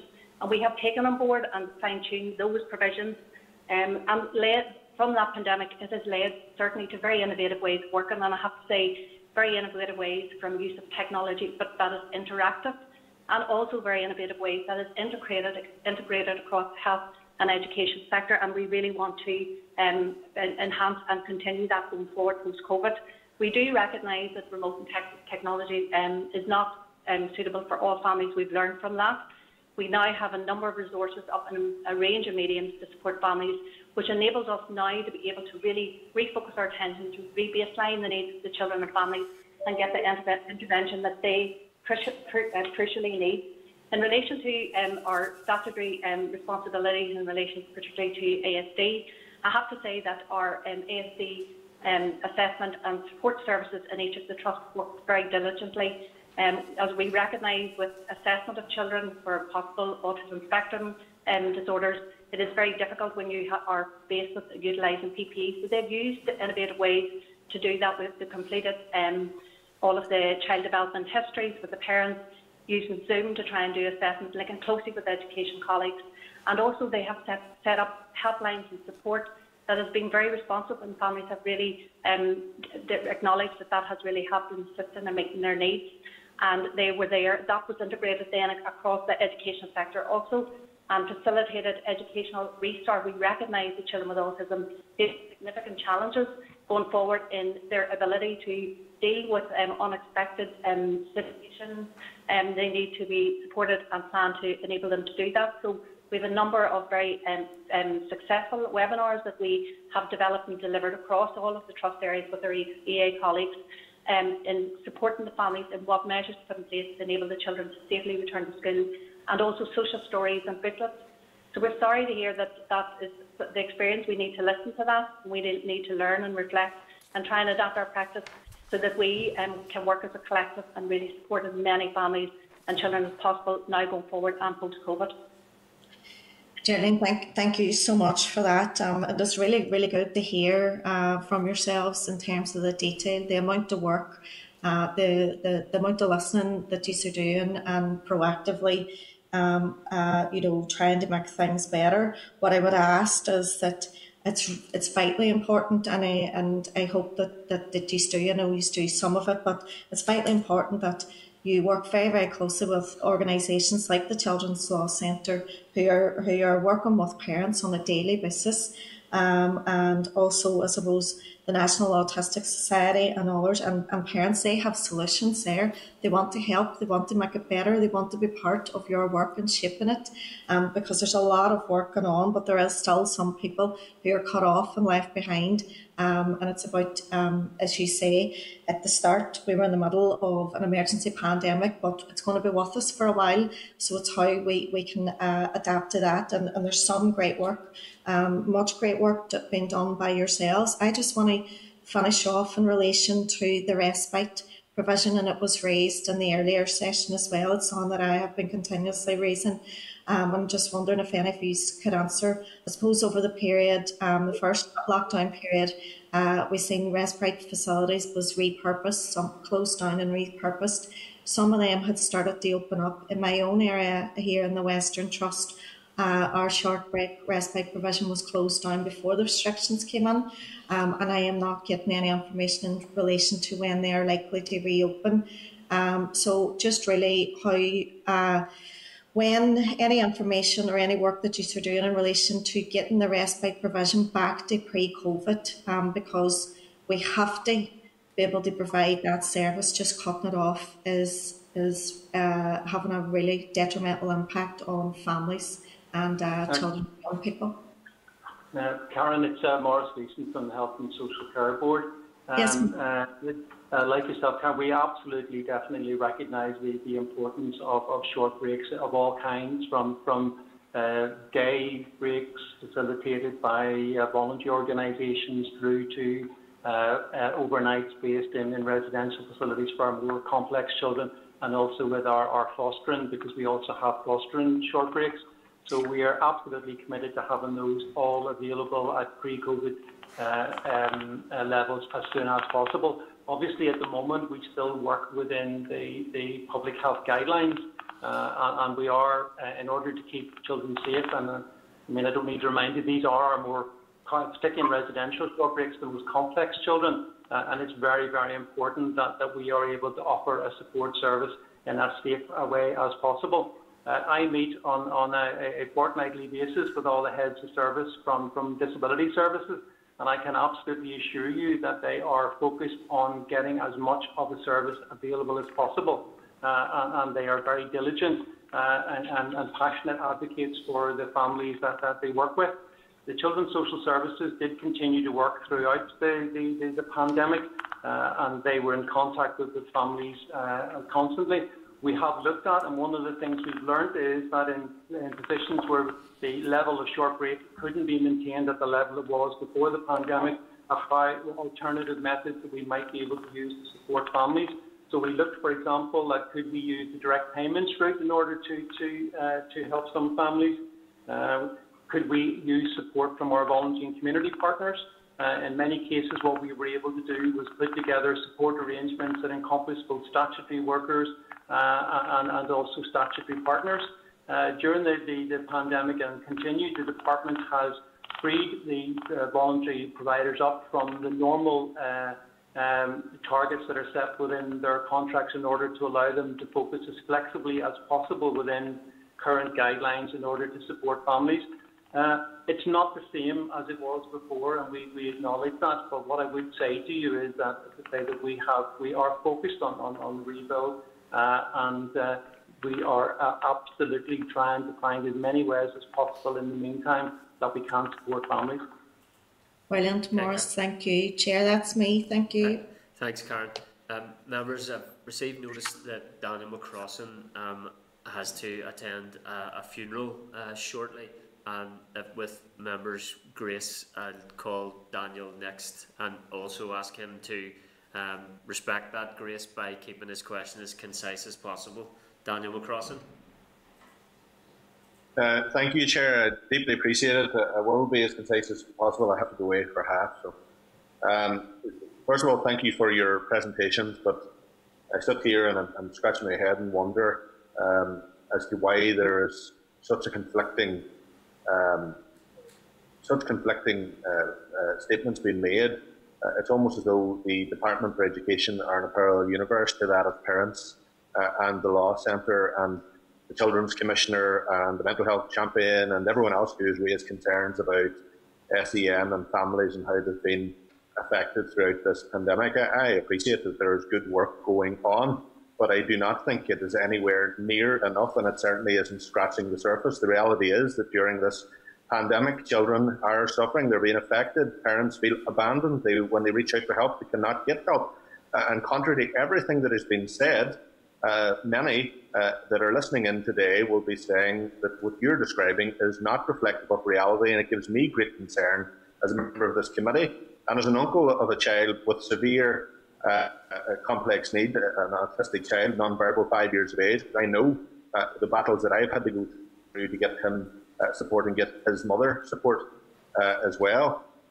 I think uh, in terms of, of where we're at, there's ser- a serious issue uh, that that doesn't seem to be getting addressed here, and, and, and I don't know if it's at the leadership of the Department of Education or quite simply if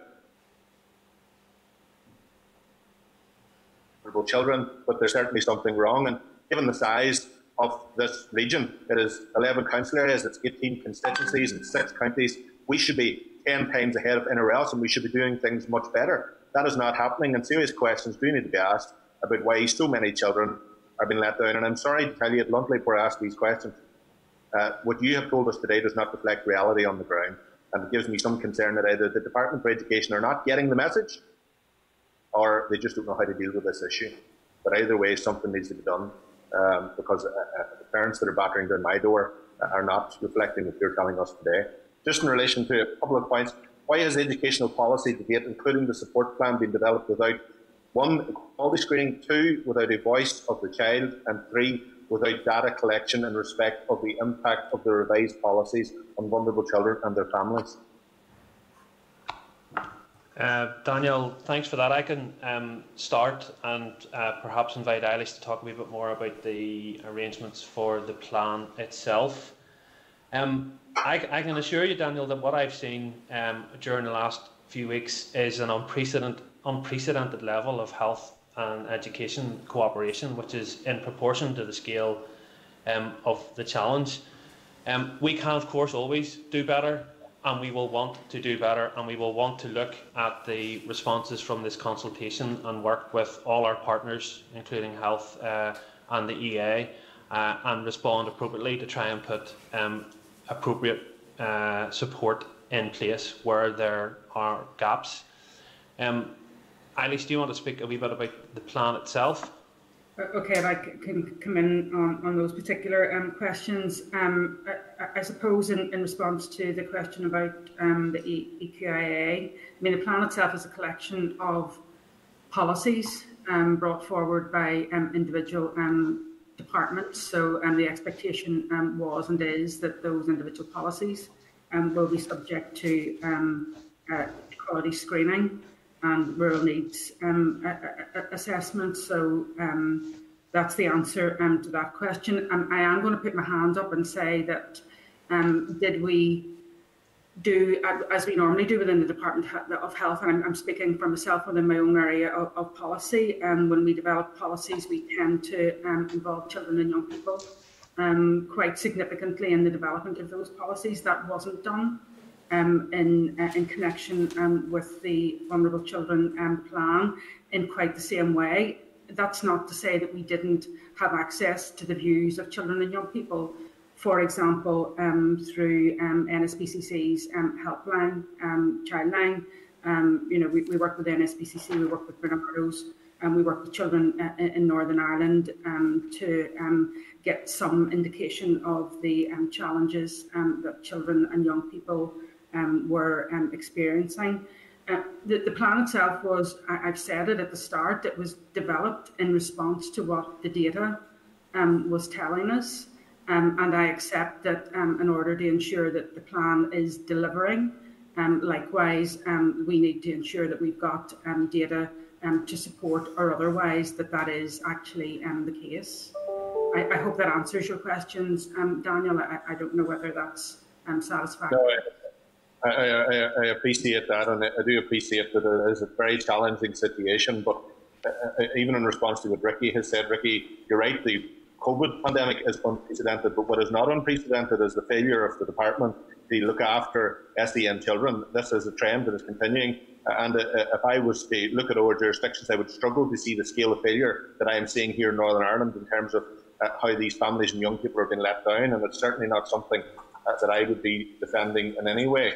Uh, just a, a, final question, Chair, because I'm tight time. Have a to attend. Uh, and uh, I do appreciate your honesty as well. Can you advise us what lessons uh, have been learned from lockdown and how this has translated into the action plan consultation? Specifically, what did you learn from lockdown in terms of providing support to vulnerable children? Uh, what will you do differently if there is further disruption to education owing to COVID 19, which is highly likely given the situation we're in coming into Christmas and January? Uh, where are these new and different measures in the action plan consultation? And thank you in advance. Thanks, Daniel. Okay, so um, if I can start with the question um, about lessons um, learned, and, and uh, uh, my first response to that um, is that I think we need to look at some of the, the responses to consultation because I'm expecting that there will be lessons um, to be learned um, from those responses um, alone. And, and we did ask questions about every part of the plan, including was the definition um, right? Um, have we got the risks and challenges um, identified um, correctly?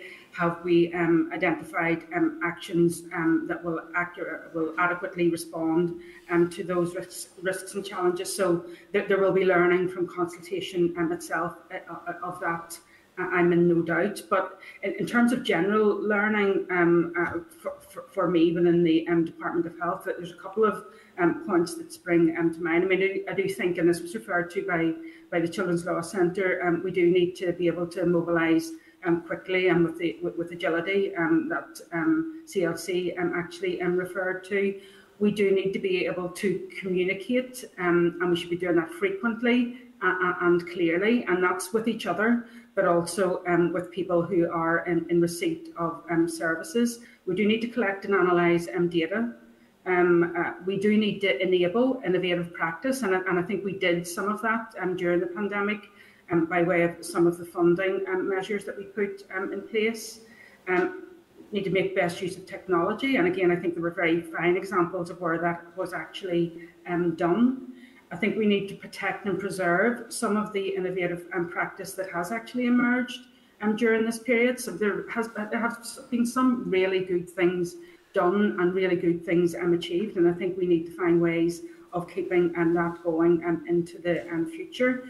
I think we need to maintain the um, effective working relationships that we established um, through um, this period because that did um, happen and I want to assure um, the committee of that. But finally, for me, I mean, I do think we need to pay some level of homage um, to the to the um, frontline workers who actually um, worked with children and families um, throughout this uh, period, and in some cases, um, placing themselves and their own families um, at, at, at risk. Um, so that, that, that's my thought from the Department of Health um, perspective um, in Thanks. terms of the learning. Thanks. Thank you, Ian. Okay, uh, just I want Ricky Irwin to come in on a, on a point in terms of lessons learned, Chair, because I think it is very important. Uh, if anywhere that lessons learned is the Department of Education. Ricky. Um, yes, Daniel. So uh, some some are similar to Eilish's thinking as well, uh, and as we as we go through the consultation uh, analysis, we, we will work uh, with uh, health to um, structure these better. But some of my thoughts would be that clearly we have to be better on our communication and our communication around the processes that we put in place for vulnerable children.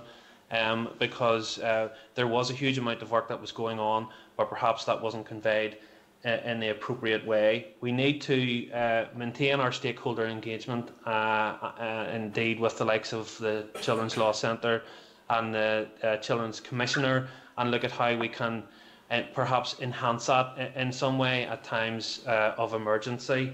Um, we should think about our access points to education for vulnerable children. Um, we did have two processes which were running, one in relation to children with complex needs and a separate process in relation to other vulnerable children. So we want to be clear what the learning is from that and how we can improve that.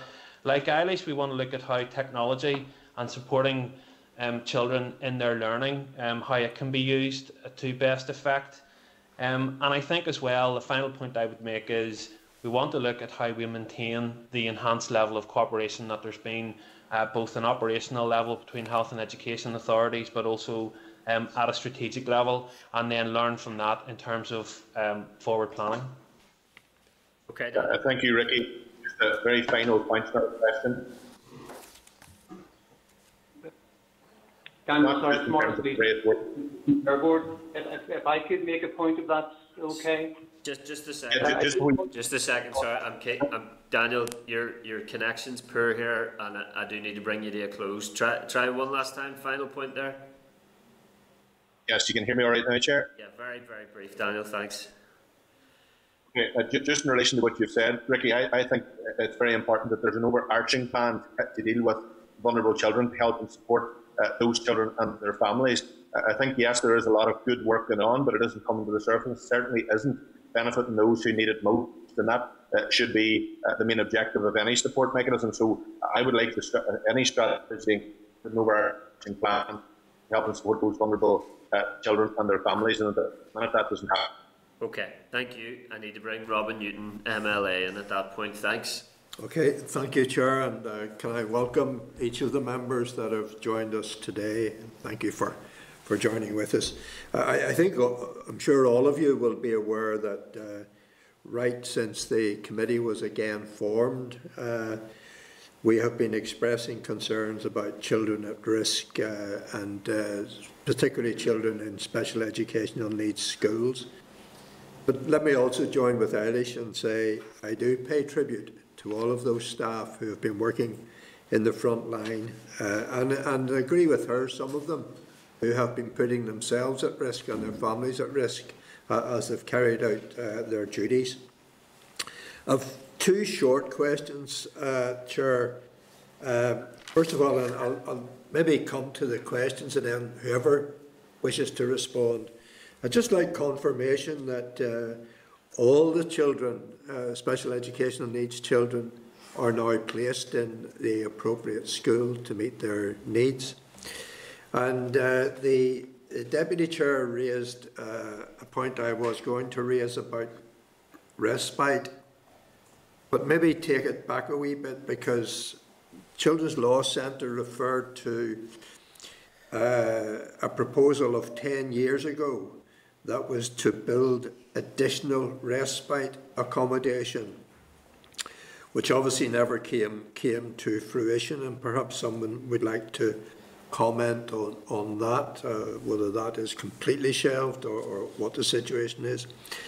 And can I maybe just read out a short statement from the report we were presented with by the Children's Law Centre? It's paragraph 37 of the report that they provided us. Children and families are currently suffering personal injuries, mental breakdown, threat to life and health, and destruction of their right to respect for private and family life.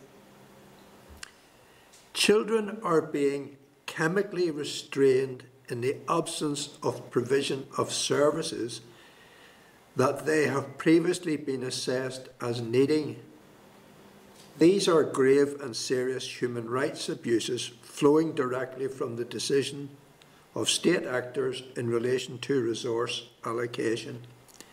So maybe whoever would like to address the three questions.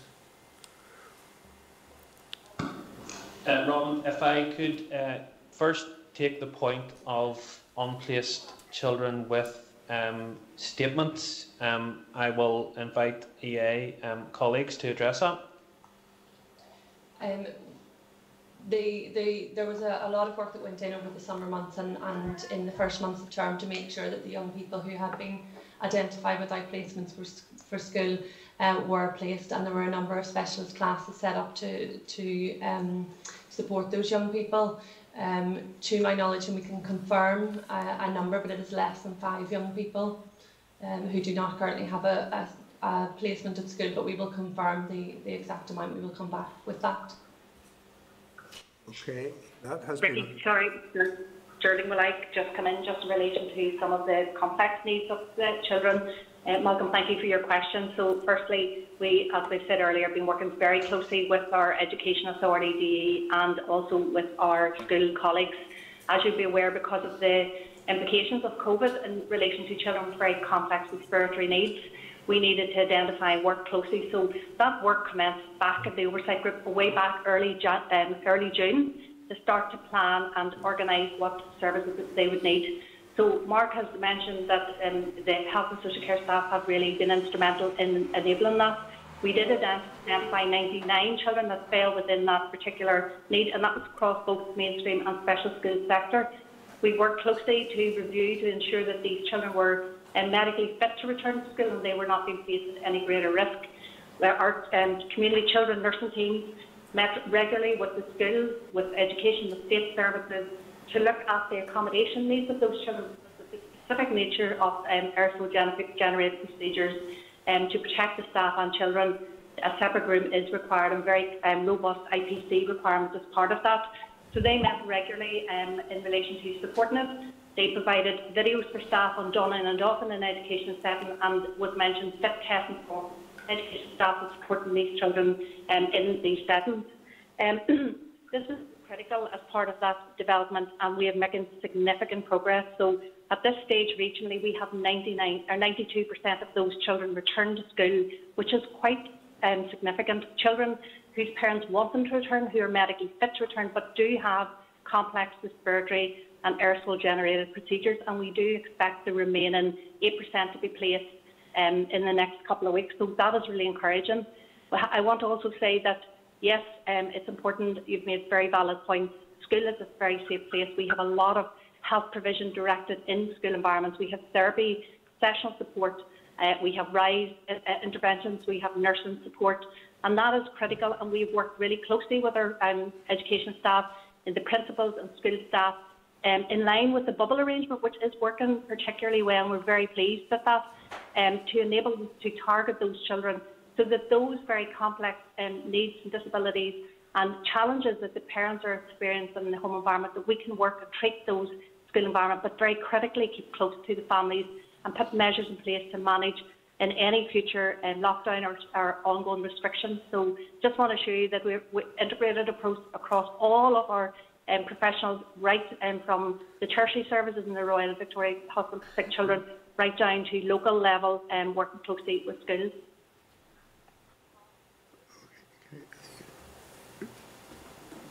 Thank, thank you for that. Okay. No, no, no sorry, Chair. Maybe someone would address the the uh, ten-year strategy, the, the, the uh, provision that was due to be made ten years ago, uh, and where it's sitting at the moment to provide additional respite. It was recognised ten years ago, apparently. Can I come in on, on, on that point? I mean, I, I, think the first thing that I, I, I, want to say is that respite can take um, many forms, and I think Maurice and both and Mark have both reflected that in the opening um, statement um, today. Um, you know, it, it, doesn't necessarily have to mean um, a child being placed in, in, in a residential um, facility at all. it can take the form of, for example, um, specialist um, foster um, care, and, and, there has been investment in things like specialist foster care, etc., over the course of the last um, number of years, and, and, and plans um, to to increase um, that provision. Maurice, is there anything else that you want to say in terms of other supports that we have been providing? I'm thinking about Southeastern Trust, for example, who have a specialist childminding um, and mentoring service um, uh, within um, uh, within that um, area. Um, anything else that you want to add in terms of additional provision?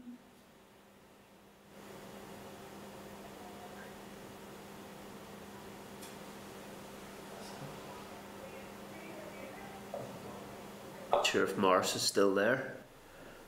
Oh, sorry, uh, I thought, um, uh, sorry, Eilish, what you said, um, Mark, and I was, uh, uh, my apologies for that. Um, yeah, yes, there are, uh, as Eilish said, there are a range, there's a range of provision in terms of short breaks, of which uh, residential uh, short breaks would, would, would, be at one end, and at the other, we look at day, day uh, breaks for children using some of our voluntary partners. Uh, we've been looking at the whole issue around um, uh, a a foster care day uh, short breaks using foster carers both during the day and, and for um, and for, for overnight. Um, we are constantly looking at the, the provision that we have and looking for ways to, to enhance that. Uh, and you know we're, we're currently looking at, as I say, how how we can do better in order to, to deliver supports to the families. And uh, I have no doubt going forward that that will include looking at, at a range of things. Um, but issues such as, I mean, uh, the particular issue around the, the 10-year unit, uh, I'm not sure the circumstances around that. Uh, I mean, in terms of re residential short breaks in particular, I mean, it's a highly regulated activity, uh, and it's not an activity that can be very quickly. And by the way, I'm not seeking to defend 10 years. I'm just pointing out that it can be an activity that's not easy to bring to fruition quickly. You have to identify premises, they have to be specially adapted because of the complexity of the needs of the children, they have to be regulated. So there can be a number of issues why um, uh, something, uh, you know, why it can take a long time in particular. Uh, and as Eilish has alluded to, other things like we have used childminders uh, as a particular example in terms of supporting families with a child with a disability. Um, would someone like to respond to the uh, third point, uh, paragraph 37? Children are being chemically restrained in the absence of provision of services that they have previously been assessed as needing.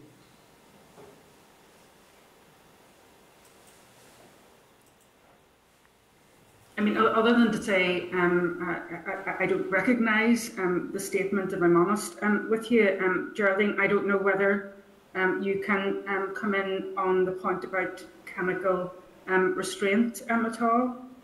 Okay, and Malcolm, I suppose it's important, and, and we do um, look towards our um, um, consultant medical colleagues the, uh, and psychiatry colleagues in making the appropriate assessment that best meets um, children's needs is based on NICE guidance.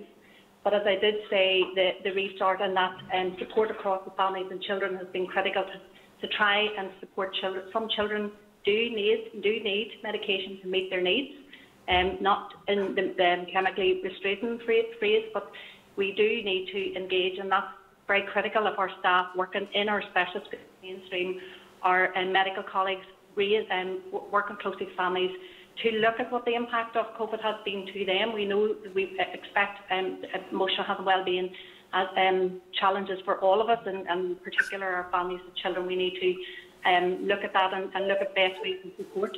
I do know Ricky had highlighted earlier the importance of single point of entry, and that's something that we have been, uh, from a health perspective, really keen to progress to meet the challenges of children, particularly children with um, comorbidities, including children known to CAMHS, ASD and ADHD, and we do have a framework out at the minute that will provide early intervention, and we are progressing with that and working closely with the trust.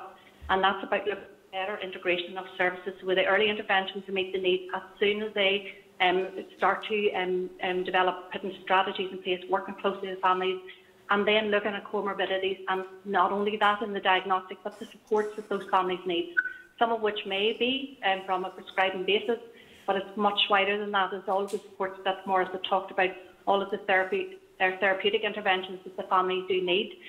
We did say earlier we're really keen to hear the voice of the parent and of the child and our wider stakeholders, and that certainly we've um, we have done some work on that. We need to do more, and we plan to um, progress that, and that's going to be a very key feature.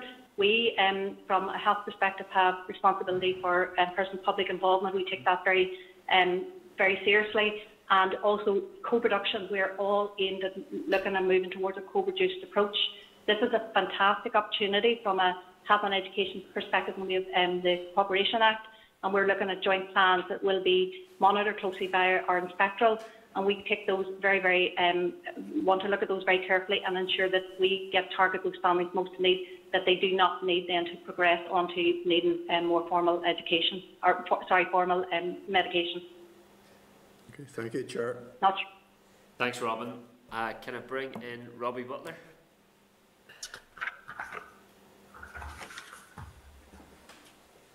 Robbie? Not there. That's me unmuted. That's me unmuted now, Chair. Sorry, I couldn't find the button.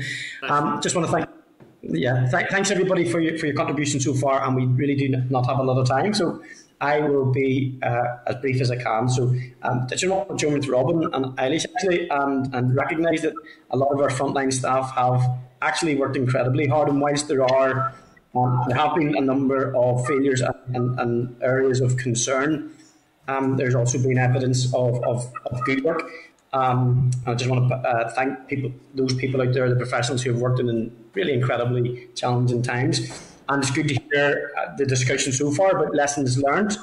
And uh, hopefully there will be plans in place to do things uh, better and to, to, to just, I suppose, fill in the gaps and, and learn from the, the things that went wrong. But I'm just going to concentrate, uh, if you don't mind, on looked after children.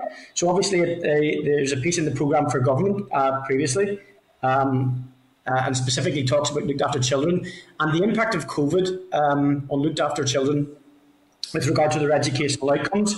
Um, GCSEs and then into um, A levels and, and, and, and, so on. So I had the, the privilege of helping a young guy out um, at uh, the just the, at the exam time then I suppose because there was the whole conflation of of how marks were awarded and so on and the university um, to be fair did square up like it was Ulster University I helped out greatly. So with regard to what we're still going through and lost classroom time in particular and the impact on looked after children um, has that been something that has been looked at? And what would be the views of each of the bodies here today with regard to any further lost classroom time on the educational uh, impact on looked after children? Um, Robbie, it's Ricky Irwin here. If I um, could try to answer some of that um, for you. So, uh, looked after children are a specific cohort um, within the vulnerable children um, category, uh, and both departments have been working very closely on the development um, of a looked after children uh, strategy. Um, ahead of that, there has been some significant work in terms of improving educational outcomes for looked after children, and we have evidence um, from some pilots um, which suggests that uh, you know trauma-informed approach is one of the things that will actually um, enhance um, educational outcomes for those children. So we're looking at how that can be um, rolled out more widely as part of the implementation of the strategy. I think it's important as well to say that the aim of the Engage programme, which the Minister um, had announced, was uh, intended really to catch up on that element of lost learning, and that would be for all those children that need it most. And if that includes certain looked after children, then they would be um, included in that. So funding uh, of 11.2 million um, has been allocated to secure additional teaching resources to deliver that engaged programme and I would fully expect that looked after children will, will some of them will benefit from that directly if, if, if they need it. Um, Eilish, is there anything you want to add to that? But very briefly um, before you do, Ricky, but that funding does not is not available to special schools. Um, Chair, thank, thank you for, for raising that. I can um, say that we are now working with um, the special schools uh, in a co-design uh, approach for a bespoke engaged type programme specifically designed for special school children who could also benefit from lost learning um, as a result of the lockdown. So that engagement is underway now. Uh, Robbie, you want to come back in there? Oh, I think it was Ali should be asked there just to, to, for her view on that. Yeah. Thanks. Yeah. So I mean, uh, just to add to what Ricky has um, said, you know, in, in addition to focusing um, some level of attention on the challenges posed by um, pandemic, we did um, continue to develop a looked after um, children um, strategy and. Um, that hopefully um, will be published in the not too distant um, future. You're quite right, Robbie. Um, the educational achievements for looked after um, children are incredibly poor in comparison um, to their peers, which is why the um, strategy focuses on learning and achieving um, outcomes um, for them. It's also why we developed the strategy jointly with the um, Department of Education. Um, I mean, there, there, there, there was investment um, made uh, in the after children's services over the course of the pandemic by the um, Department of Health, and, and that included um, providing supports for foster carers, etc., to assist um, ch children and young people in, in their care um, while they were out of school, etc. And, and, we put some money into our children's homes and, and that too, in recognition of the challenges that children in residential care have been experiencing um, too. But I just want to assure that the committee and both departments are committed to working um, together to close that educational um, attainment gap that, quite frankly, um, absolutely um, needs to be closed. Brilliant. Uh, Eilish, thank you so much for that. I have to declare an interest as a, as a part-time foster parent. I just put it on record. I didn't receive any payments from anybody at any stage because we didn't actually foster over this break. Um, but um, a lot of the a lot of the good work that is done and, and has, I suppose, pre-COVID and possibly through COVID, has relied on partnerships with community community and voluntary sector organisations. And I know, Eilish, that you talked about certainly in terms of the um, uh, looked after children there that some of the some of the provision was made. But there are other charities out there who perhaps are struggling at the moment. Um, is there a fear that some of them may not exist post COVID? Um, because obviously some of the some of the um, previous relationships and, and so on will underpin the, the plan for our, our moving out of COVID. Would there be any issues with that at the moment? So if I, if I can come in and, say something um, about um, the Department of Health's core grant um, scheme, and we do fund, I think it's 67 um, voluntary and community sector organisations um, through that core grant scheme. And and during the pandemic, we did a couple of things, and we tried to get the money out the door more um, quickly um, than, than we would normally um, do in, in any other um, year. But the second thing was that we um, gave organisations the scope um, to adjust what it was they what, what it is they do um, on, on an, uh, in a normal year, um, so that they could actually focus some of their attention on on, COVID and support um, families etc. Um, impacted um, by um, COVID. Um, I don't know whether anybody wants to um, add um, to that, Maurice, um, from the board's perspective. Yes, Robbie, it's uh, Maurice Leeson from the Health and Social Care Board. Can I firstly say that thank you for your acknowledgement of, of the contributions of the, the frontline staff because they'll be very pleased to hear they, they work very, very hard and it's, um, as I say, we're very encouraged by, by your support. Um, in terms of the volunteer community sector, I think one of the really learning points for us that's come out of this has been the fact that where we've worked well in partnership, we've been able to deliver the most effective supports to families. Uh, I would be happy to share with, with the committee, because I know time is precious, but we have done some work through our Children and Young People Strategic Partnership, you know, to look at the, the partnership work that was done during the pandemic. Uh, we have produced a report into the impact on children and families, uh, and also a specialist report looking at the impact on emotional health and well-being. We've also produced a report which looked at a number of activities that were undertaken uh, to um, uh, during the, the, pandemic, which have really, really helped in terms of, of, of, supporting families. And the key thing in all of this has been those things wouldn't have been possible without the support of the voluntary community sector.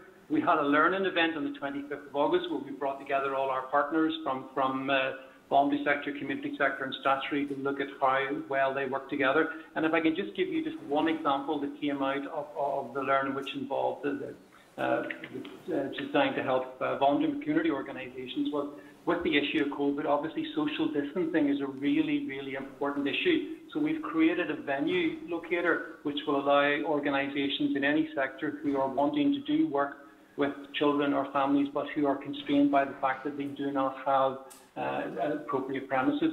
So we've looked to, to match um, organisations looking to support families with premises that, that can help them. As Eilish has said, with the funding, we have been very, very flexible over the, uh, the period of the pandemic, uh, as I say, to, to engage with organisations and say, we know you, you normally do X, but what can you do something slightly different to support families now? And we've had a really, really good response to that. Um, we can learn. Uh, we have, um, across our structures, we engage with the volunteer community sector in our locality work, and our family support hub. We have over 600 organisations networked through that, through our outcomes group and through CYPSP itself. So we have a continuous dialogue going on there. I would sincerely hope that, that um, we wouldn't see a massive impact because, as I said, Robbie, during the, the pandemic, the voluntary community sector have been enormous. They've worked enormously hard and been very helpful in, in helping us and working in partnership to support families. And Robbie, if I could just come in on, on the back of that quickly in relation to a piece of work I think was being taken forward centrally by the Department for Communities, which would have um, lead responsibility for supporting the voluntary community sector. I think there was a trawl around uh, individual departments in terms of identifying those charities and organisations that they were working with, which uh, would potentially be at risk. Um, so, so that's obviously something um, that was done by them. And if we could just nip back, if, if I could beg your indulgence for a second, um, Chair, as well, in relation to looked after children, and ask Shauna just to provide a wee bit more in terms of some of the direct support that the EA has provided.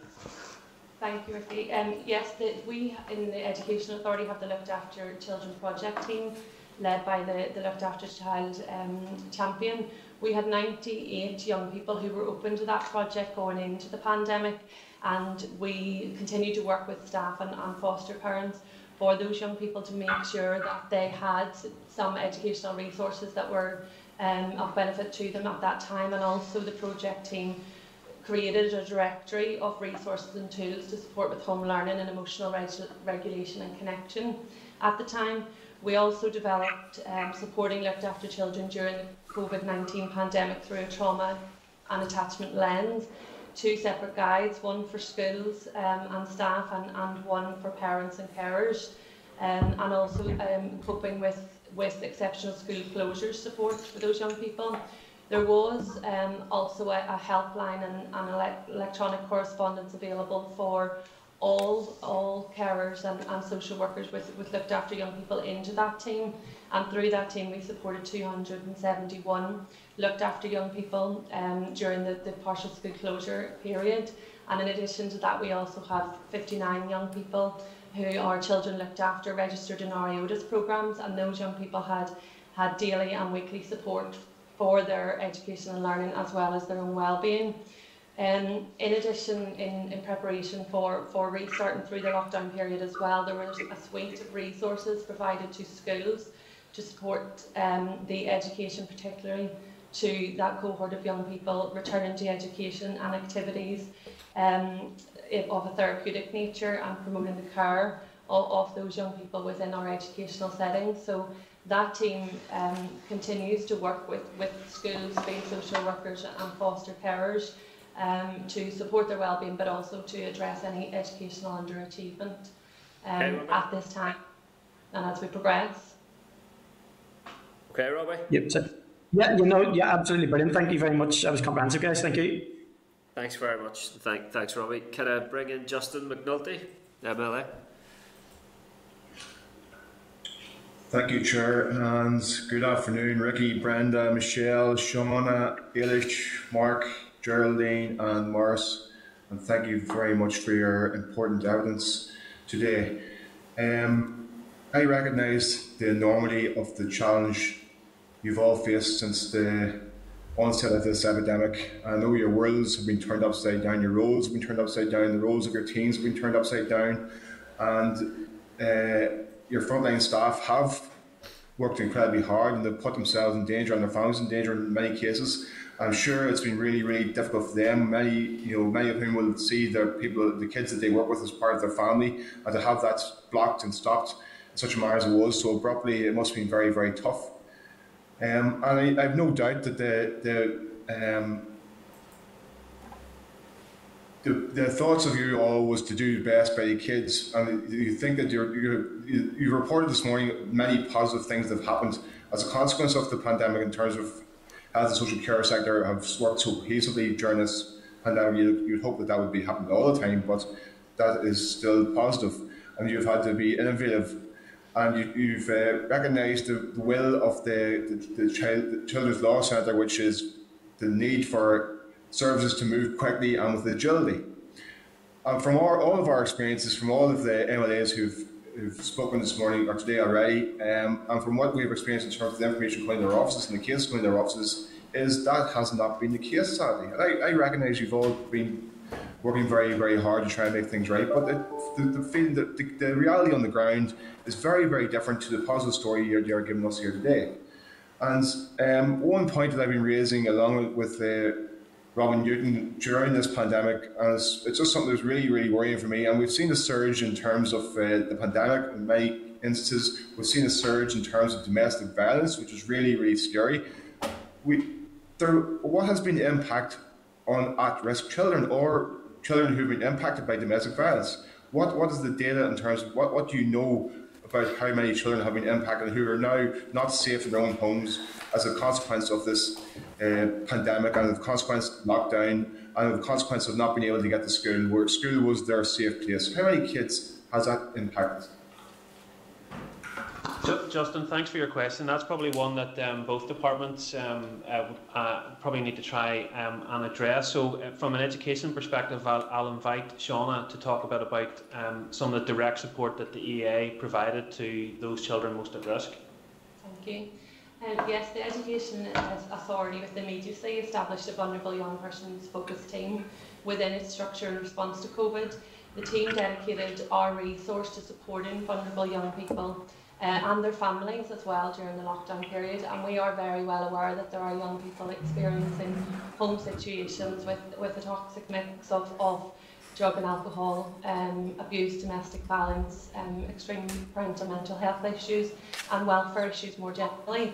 Um, so the, the team, our priority was to make sure that all of the young people within our services, um, there was contact made that those young people felt safe, that they knew that they were heard um, by someone and that they knew as well where they could access help. The team included uh, a mixed skills base across the Education Authority, which was made up of our education welfare officers and looked after staff who are all social work trained. It included teachers, youth, youth workers, um, and officer staff who, who are, have experience with, with wellbeing and welfare in supporting vulnerable groups and families. And we can coordinated our response uh, with, with programmes and, um, and contact. The, each, each young person opened to services from the announcement of partial school closures had contact um, and a contact and welfare plan was put in place. This amounted to around 5,500 young people per week and those contacts um, were made first on a daily basis and then in collaboration with other agencies involved with the young people and with the families um, as well as what the needs of the families and the young people were and these continued on a daily basis throughout the, the lockdown and partial school closure period or they, they went to two, three times a week, or at the very least once a week. Some of the programmes that were in place came from um, our post-primary and, and primary EOTAS centres, where young people were provided with um, their learning through online lessons with up to, to 30 lessons on literacy, numeracy, um, well-being, um, and, and some very creative subjects really through, through those online platforms. They were also assisted with, with food, with access to technology, and with general um, wellbeing and mentoring support. Education welfare officers um, as well were connected with 130 families, and each of those education welfare officers made contact in accordance with the need of that family. There were also 85 school-age mothers with a plan in place that included online, online sessions, mentoring, access to food and technology, and signposting to other supports within the communities.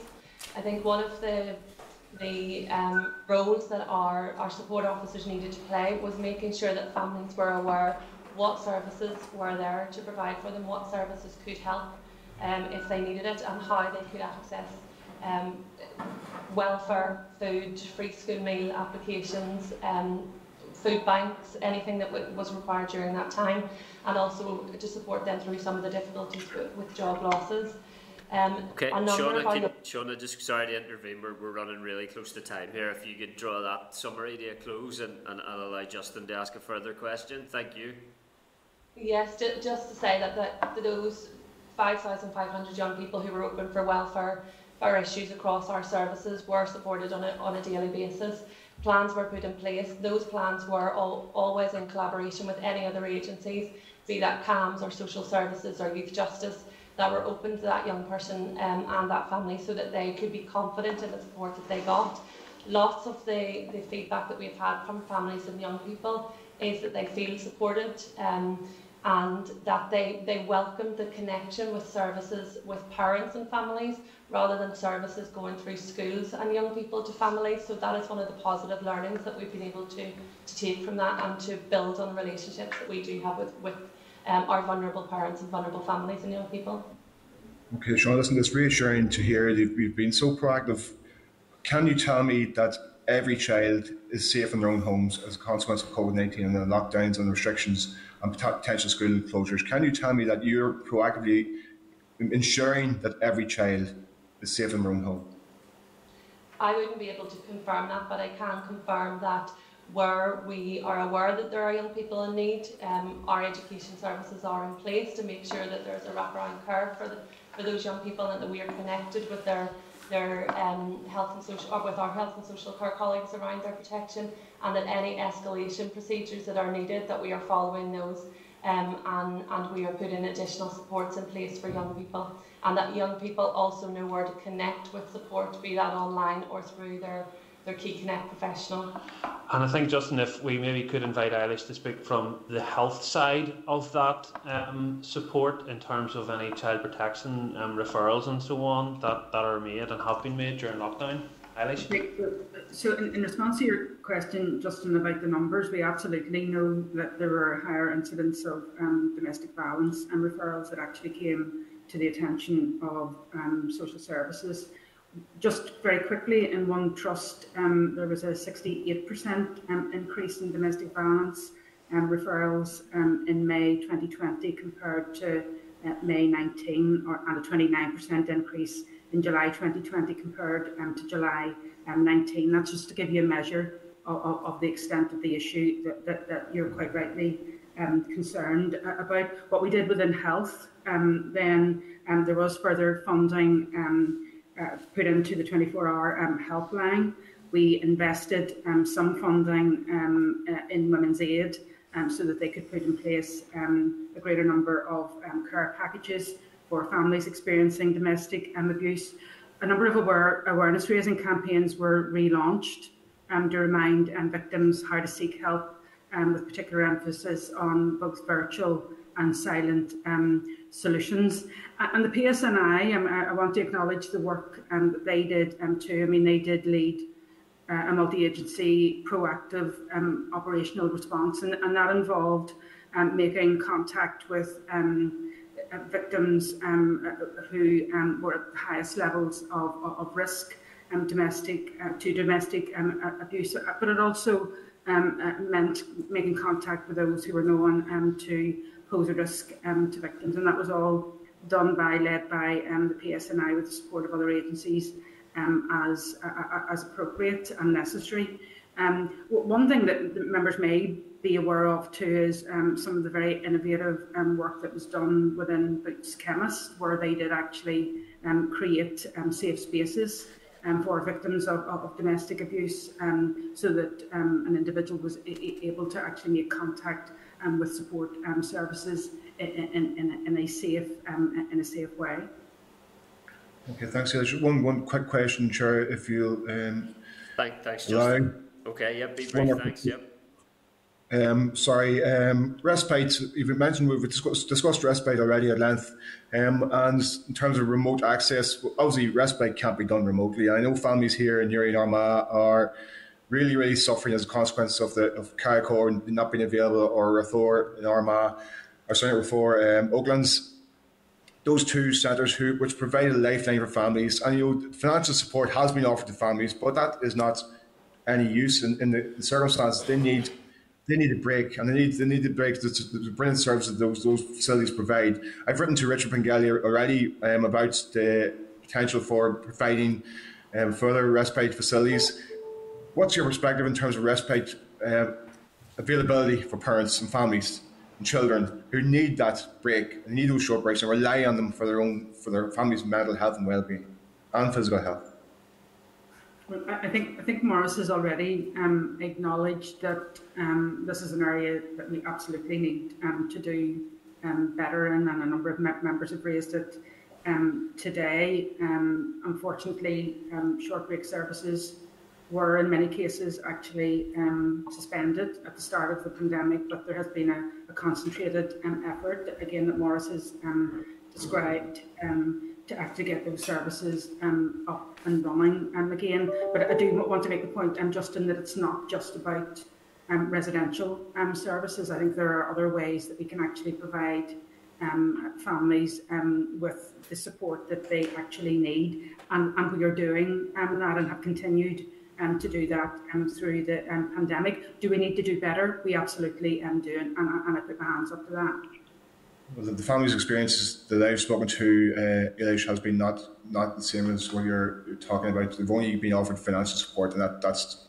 no no assistance for them really in, in this in this circumstance. No, I, I, I, admit that we need to do better um, in terms of um, short um, provision. Um, Justin. But Justin, Justin, it's Maurice Leeson from the Health and Social Care Board, and I really appreciate your question. Um, uh, the, the, the staff um, across all the trusts are, are, are aware that uh, um, with the families they work with, that the, the impact that COVID has had on particularly the residential short breaks ha, has been massive.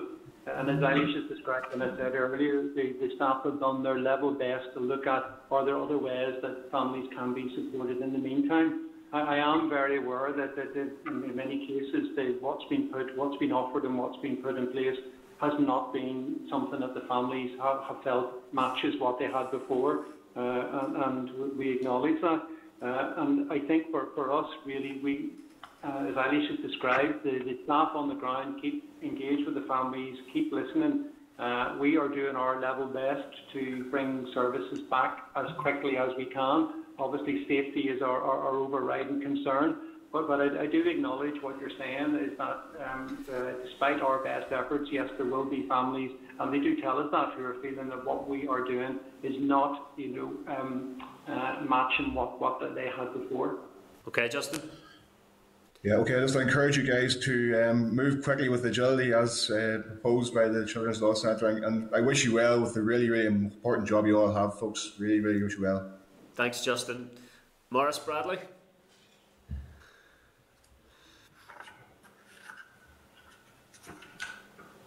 You there, Maurice? There you are. Here, Chair. Thanks. Thank you very much. Chair, in relation to maybe a question that Daniel had, had asked earlier on, it's uh, to do with uh, the planning, which was designed, I suppose, for an emergency and to get us over an emergency. And now that we're in an expected second wave of COVID 19, possibly a third wave in January, like Daniel, I would ask what feelings have been identified in the initial measures and have they been addressed uh, for this current wave and potential future waves of COVID 19? But un, unlike uh, Daniel, I, I, would prefer a written briefing to be supplied to the committee through the chair, identifying the feelings and uh, telling us how they've been addressed. Okay. But uh, through you, Chair, I have a question, and I'd like to ask what measures are in place for children suffering from dyslexia? And thinking of dyslexia, uh, many children have difficulty putting their ideas and solutions down on paper. Uh, in particular, what I would be concerned about would be teachers and schools in general. I know teachers, head teachers and assistant teachers, I mean, they're all doing an exceptional job in exceptional circumstances, and I, and I would like to put my thanks to them on the record. But uh, most children suffering from dyslexia are in mainstream education. Nonetheless, this is a special need. So what I would like to know are, are teachers sufficiently trained or being offered appropriate and suitable training in identifying children suffering from dyslexia uh, and is there any educational programs to take this condition into account? And I'm thinking about oral and practical examinations to take the place of written tests and formal testing. Good question, Maurice. Thank right. you. DE. Okay.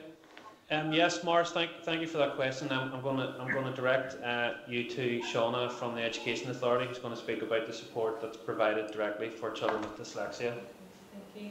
Our services that, that support um, staff supporting these young people and support the young people directly um, they, they are operational um, for schools and for staff. There's training that is available um, for school staff. Um, we have moved to making the majority of that training online and accessible to staff at a time that suits them, um, as well as having bookable sessions um, that are appropriate. We also have a suite of resources that are available for staff and for young people via our website and via the, the C2K platform, which all education staff have direct access to.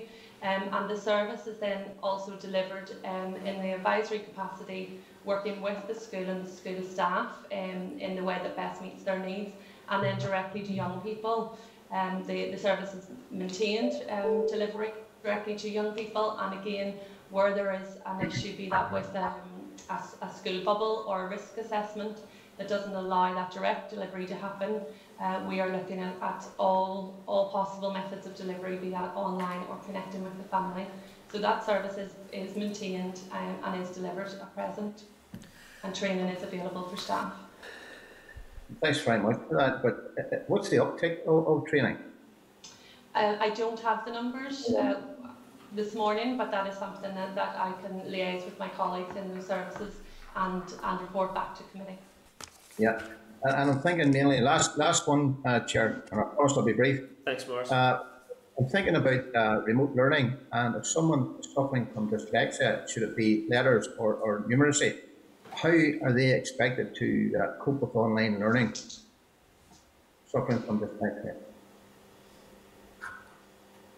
We, one of the, the resources that is available from the Education Authority is uh, um, a, a magazine that, that promotes um, the, the skills required uh, for young people, and, and this is something that is um, sent directly uh, electronically to young people, families, and staff.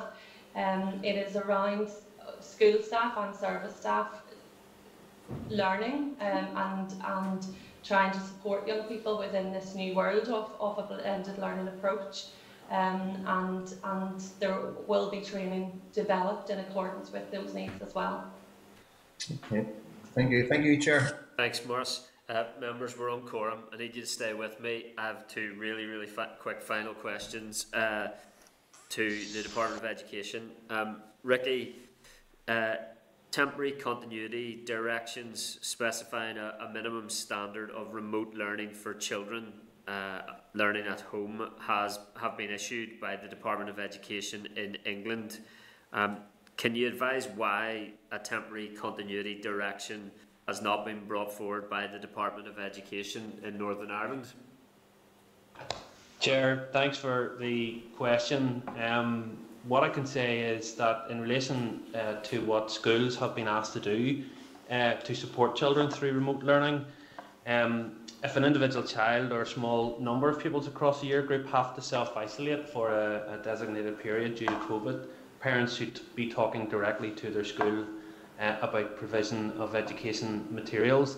The department has asked schools to have contingency plans in place for the delivery of remote learning in the event of a school closure or indeed that a class or group of pupils need to um, self-isolate and schools will promote remote learning tailored to the needs and aptitude um, of their pupils. And in order to support schools in taking this work forward, the department has relaxed the range of statutory requirements, for example, in relation to assessment and school development planning to reduce the bureaucratic um, burden and free up time for um, curriculum planning and um, remote learning. So, um, Chair, I suppose the, the answer to the question is that the department doesn't feel that a temporary continuity direction would be the correct approach under those circumstances, uh, and would rather support schools in delivering remote learning for those that require it. It's a fairly bold conclusion. Why, why, has, why has England considered that it is a good policy? I suppose the systems are, are different, Chair, as you know, uh, and um, obviously consideration as to how best to support children's learning needs has has been given here within the department, uh, and, and that's the current position um, that that we have. And you know there have been a range of further resources and guidance materials that have been um, provided to schools. This was considered as part of the department's continuity of learning um, project um, the use of uh, C2K uh, as an online service desk portal, also the scheme in terms of providing additional IT resources and Wi-Fi access to those who are educationally disadvantaged and vulnerable learners. That has been rolled out and that, that indeed remains open. So there have been a range of measures that have been put in place um, to deal with the scenario uh, of remote learning. Okay, and how is the department monitoring or assessing the adequacy of that support and the consistency of remote learning provided to pupils learning from home? So, uh, Chair, I would probably need to write back to you with a detailed response. My understanding would be that the Education and Training Inspectorate have been involved in the evaluation of uh, remote learning and the measures that have been um, put in place, but I, I would prefer um, uh, okay. uh, to give you a more detailed response, probably in writing. Okay, look forward, look forward to receiving that. Very briefly, then, uh, Shauna, you said that the Education Authority send support services are fully operational. Um, my understanding is that would include provision like behaviour support, the Autism Advisory Service for schools. Is that right? Yes. Yes, yes, okay. that's correct. The, the feedback that I'm receiving um, to some extent is that there may be differences of interpretation in terms of fully operational. Um, in what way is that behaviour support and autism advisory service accessible? Is that available via mobile phone or is it via email? Um, what, what, what, what does fully operational mean?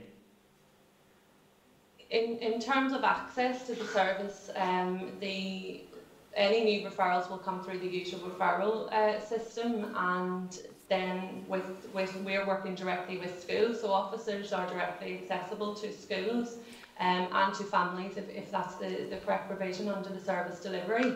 Um, that, that may be online it may be by phone or it may be um, through home visits and, and visits in school so it's fully operational and the, the method I suppose is dependent on the the presenting circumstance of the educational setting of, of the young person um, and of the, the, the service member of staff delivering. Okay, so because our, our schools are fully operational on a in-person daily basis, and is that is that the case for the EA SEND support services?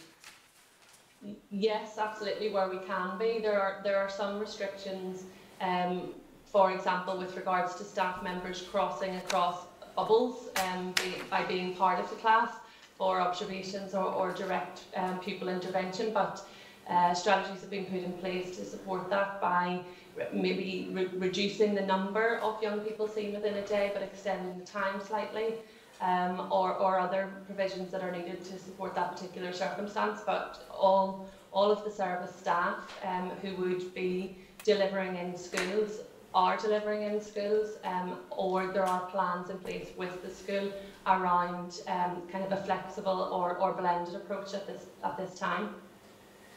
Okay, that's, a, that's obviously an issue that the committee will want to come back on, but uh, thank you so much for the extensive time that you've all given to us today. And we look Chair, forward. Chair, could I could, could I could I make just some final, a couple of final points? Just it, won't take very long if, if that's okay. Go ahead, Ricky. Extremely brief. Thanks. Sorry to interrupt there. Um, just, I, I want to make the point, I think this is important, that on behalf of DE and EA, I can assure the committee that we are completely committed to removing any barriers to vulnerable children and young people um, accessing education um, and to supporting the most vulnerable uh, in terms of their learning needs. So that, that would be the first point.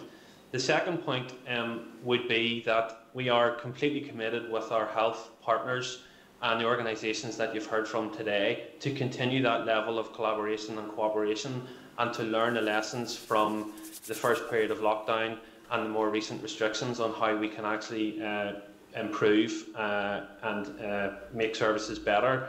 And, and finally, um, and like health colleagues, um, on behalf uh, of, of staff in both DE and EA and across um, schools, what, I, what I've witnessed uh, our staff who have stepped up during what has been a very difficult period in all their lives.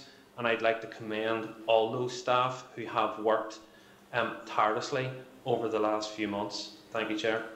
Th thanks for that, Ricky. For the avoidance of any doubt on my part as well, I, I cannot thank frontline staff enough. This committee cannot recognise the service of frontline staff enough across the COVID 19 pandemic. The job of this committee, though, is to scrutinise systems and budgets, and we welcome the commitment and the assurances that you're giving with regards to um, the systems working for vulnerable children. Um, but serious, serious concerns and testimonies have been received by this committee, so we will continue to do that job of um, of asking questions about those systems to make sure that your aim is delivered by those systems. So, and, and we thank you for your engagement with the committee to make sure that we all contribute to that aim at the end of the day.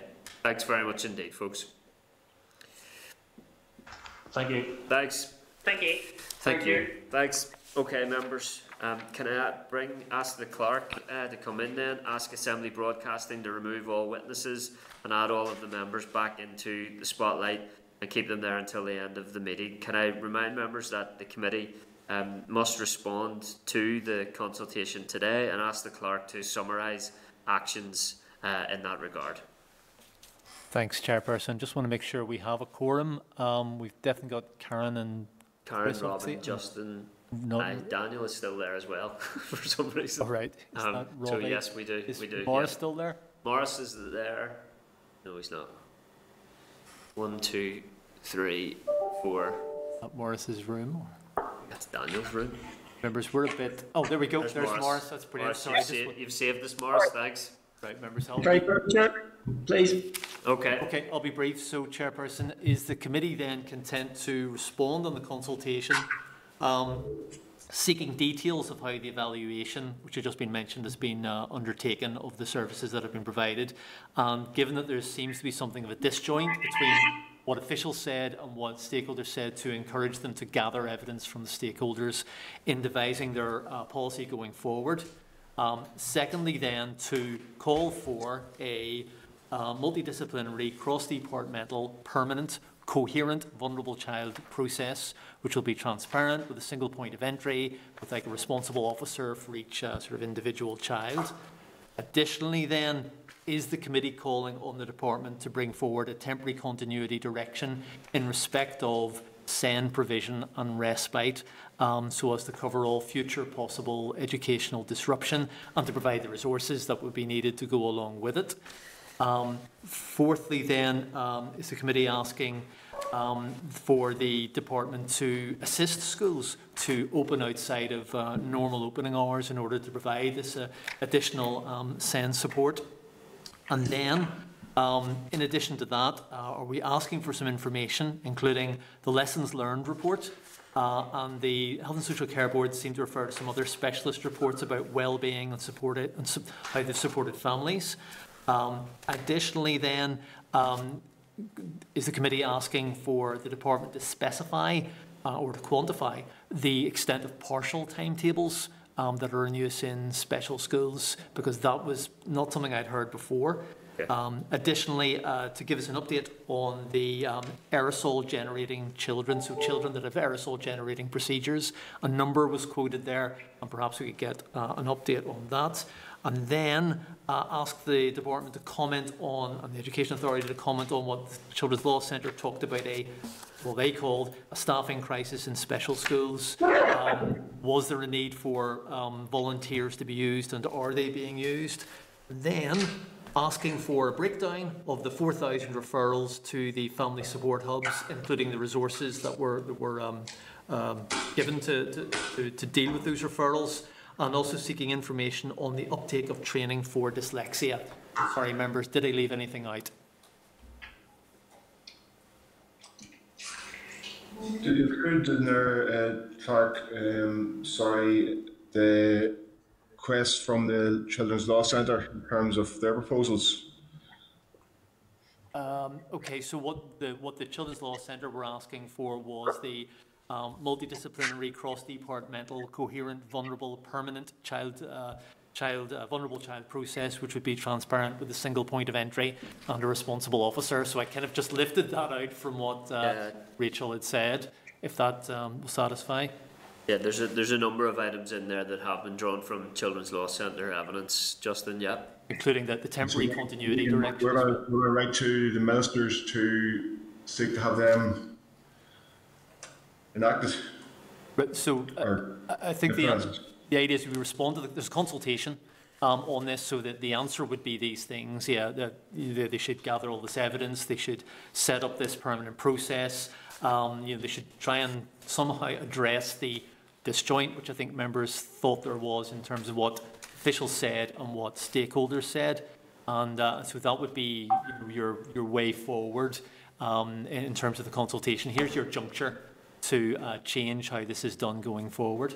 Okay, Justin, as a way to around that to to uh, submit the consultation response and to send the, the consultation response to the to the relevant ministers that you mentioned as well to, to cover all those issues with them.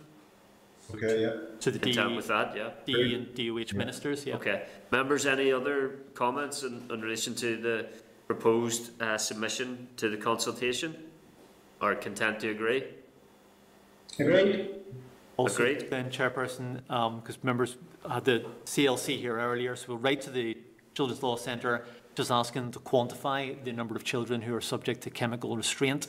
Ask them also to quantify the mainstream school mental health issues and seek their views on the impact of disruption um, on uh, the provision of examinations and what sort of uh, rights or other uh, impacts uh, that might have. Perhaps if we could ask them just to um, detail what constitutes chemical restraint in their um, in their finding as well. That was a particularly disturbing piece of evidence received today, and that would be helpful to get clarification on that. Agreed. Agreed. Agreed, members. Yep, I've got some nod heads. Go ahead, Clerk. Yep, Okay. thanks. Yep, I think we're good then. I think we're, we're on to Okay. correspondence. But members bear with me, be very rapid in terms of correspondence. Clerk, do you want to speak to correspondence? Chairperson, I'm just going to ask members uh, to have a look at the summary note at page 212 and ask if they are content to discharge the correspondence as indicated um, there. Uh, there's a few um, in there, um, but hopefully the um, suggestions um, uh, that I've come up with will be okay with the, just the following sort of additional ones. At page 272, uh, Belfast City Council, Council are seeking a, meeting with members. Um, uh, there's a young people's group that they put together and they had uh, the findings of a report on their views on relationship and sexuality education. So do you want to arrange uh, an informal meeting? Yeah, members content to meet informally. Agreed. Agreed. Agreed. Thanks. Then also, there was an invitation from a school, um, which is the first we've had in a while, asking the chairperson to visit and view the work of its agricultural club.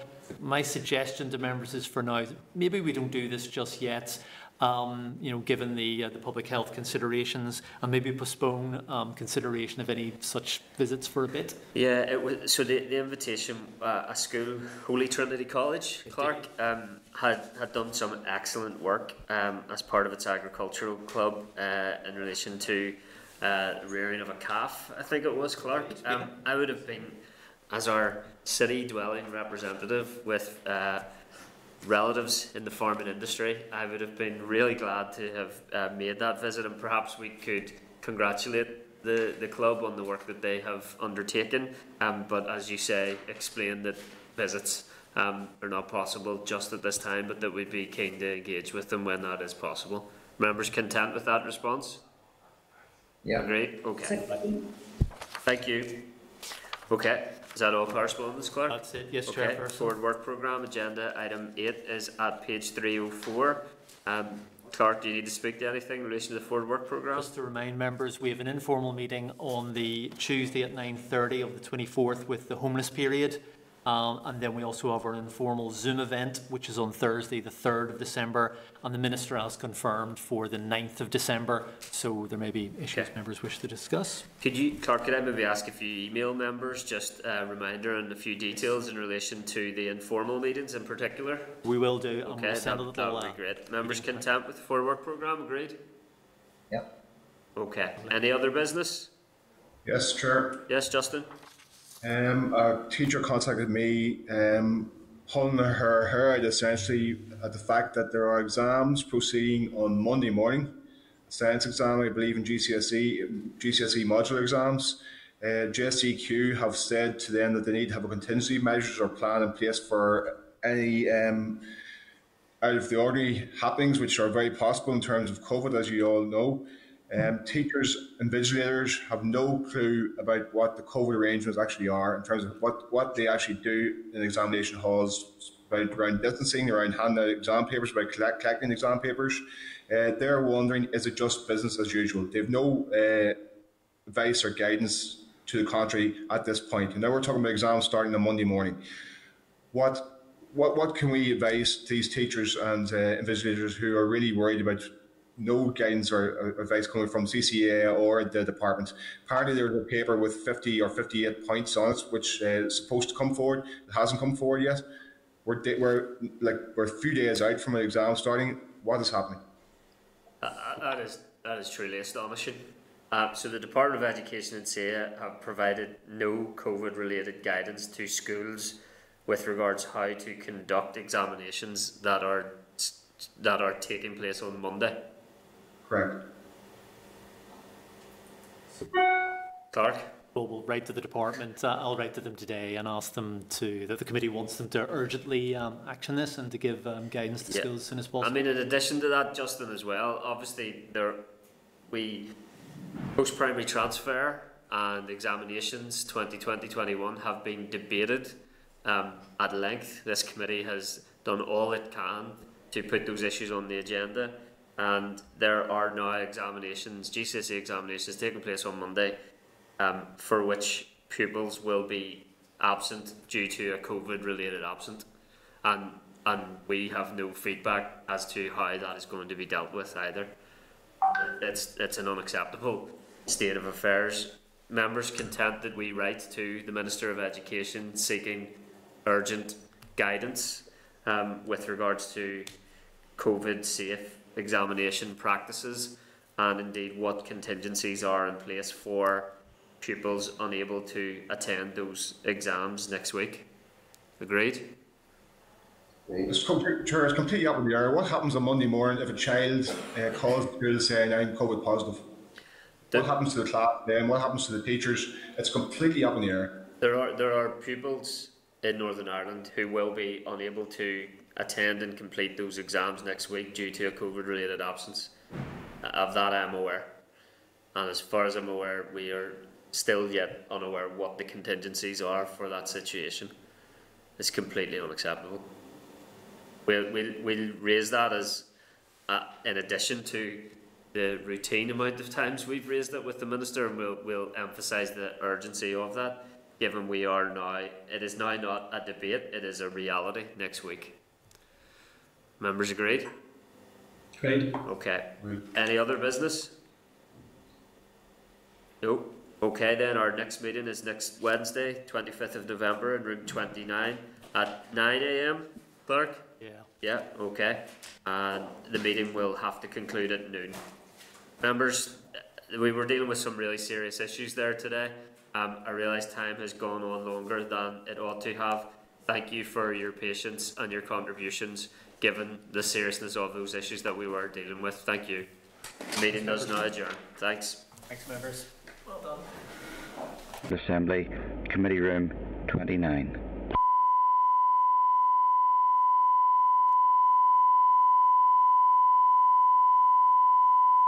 This is the Northern Ireland Assembly, Committee Room 29. This is the Northern Ireland Assembly, Committee Room 29.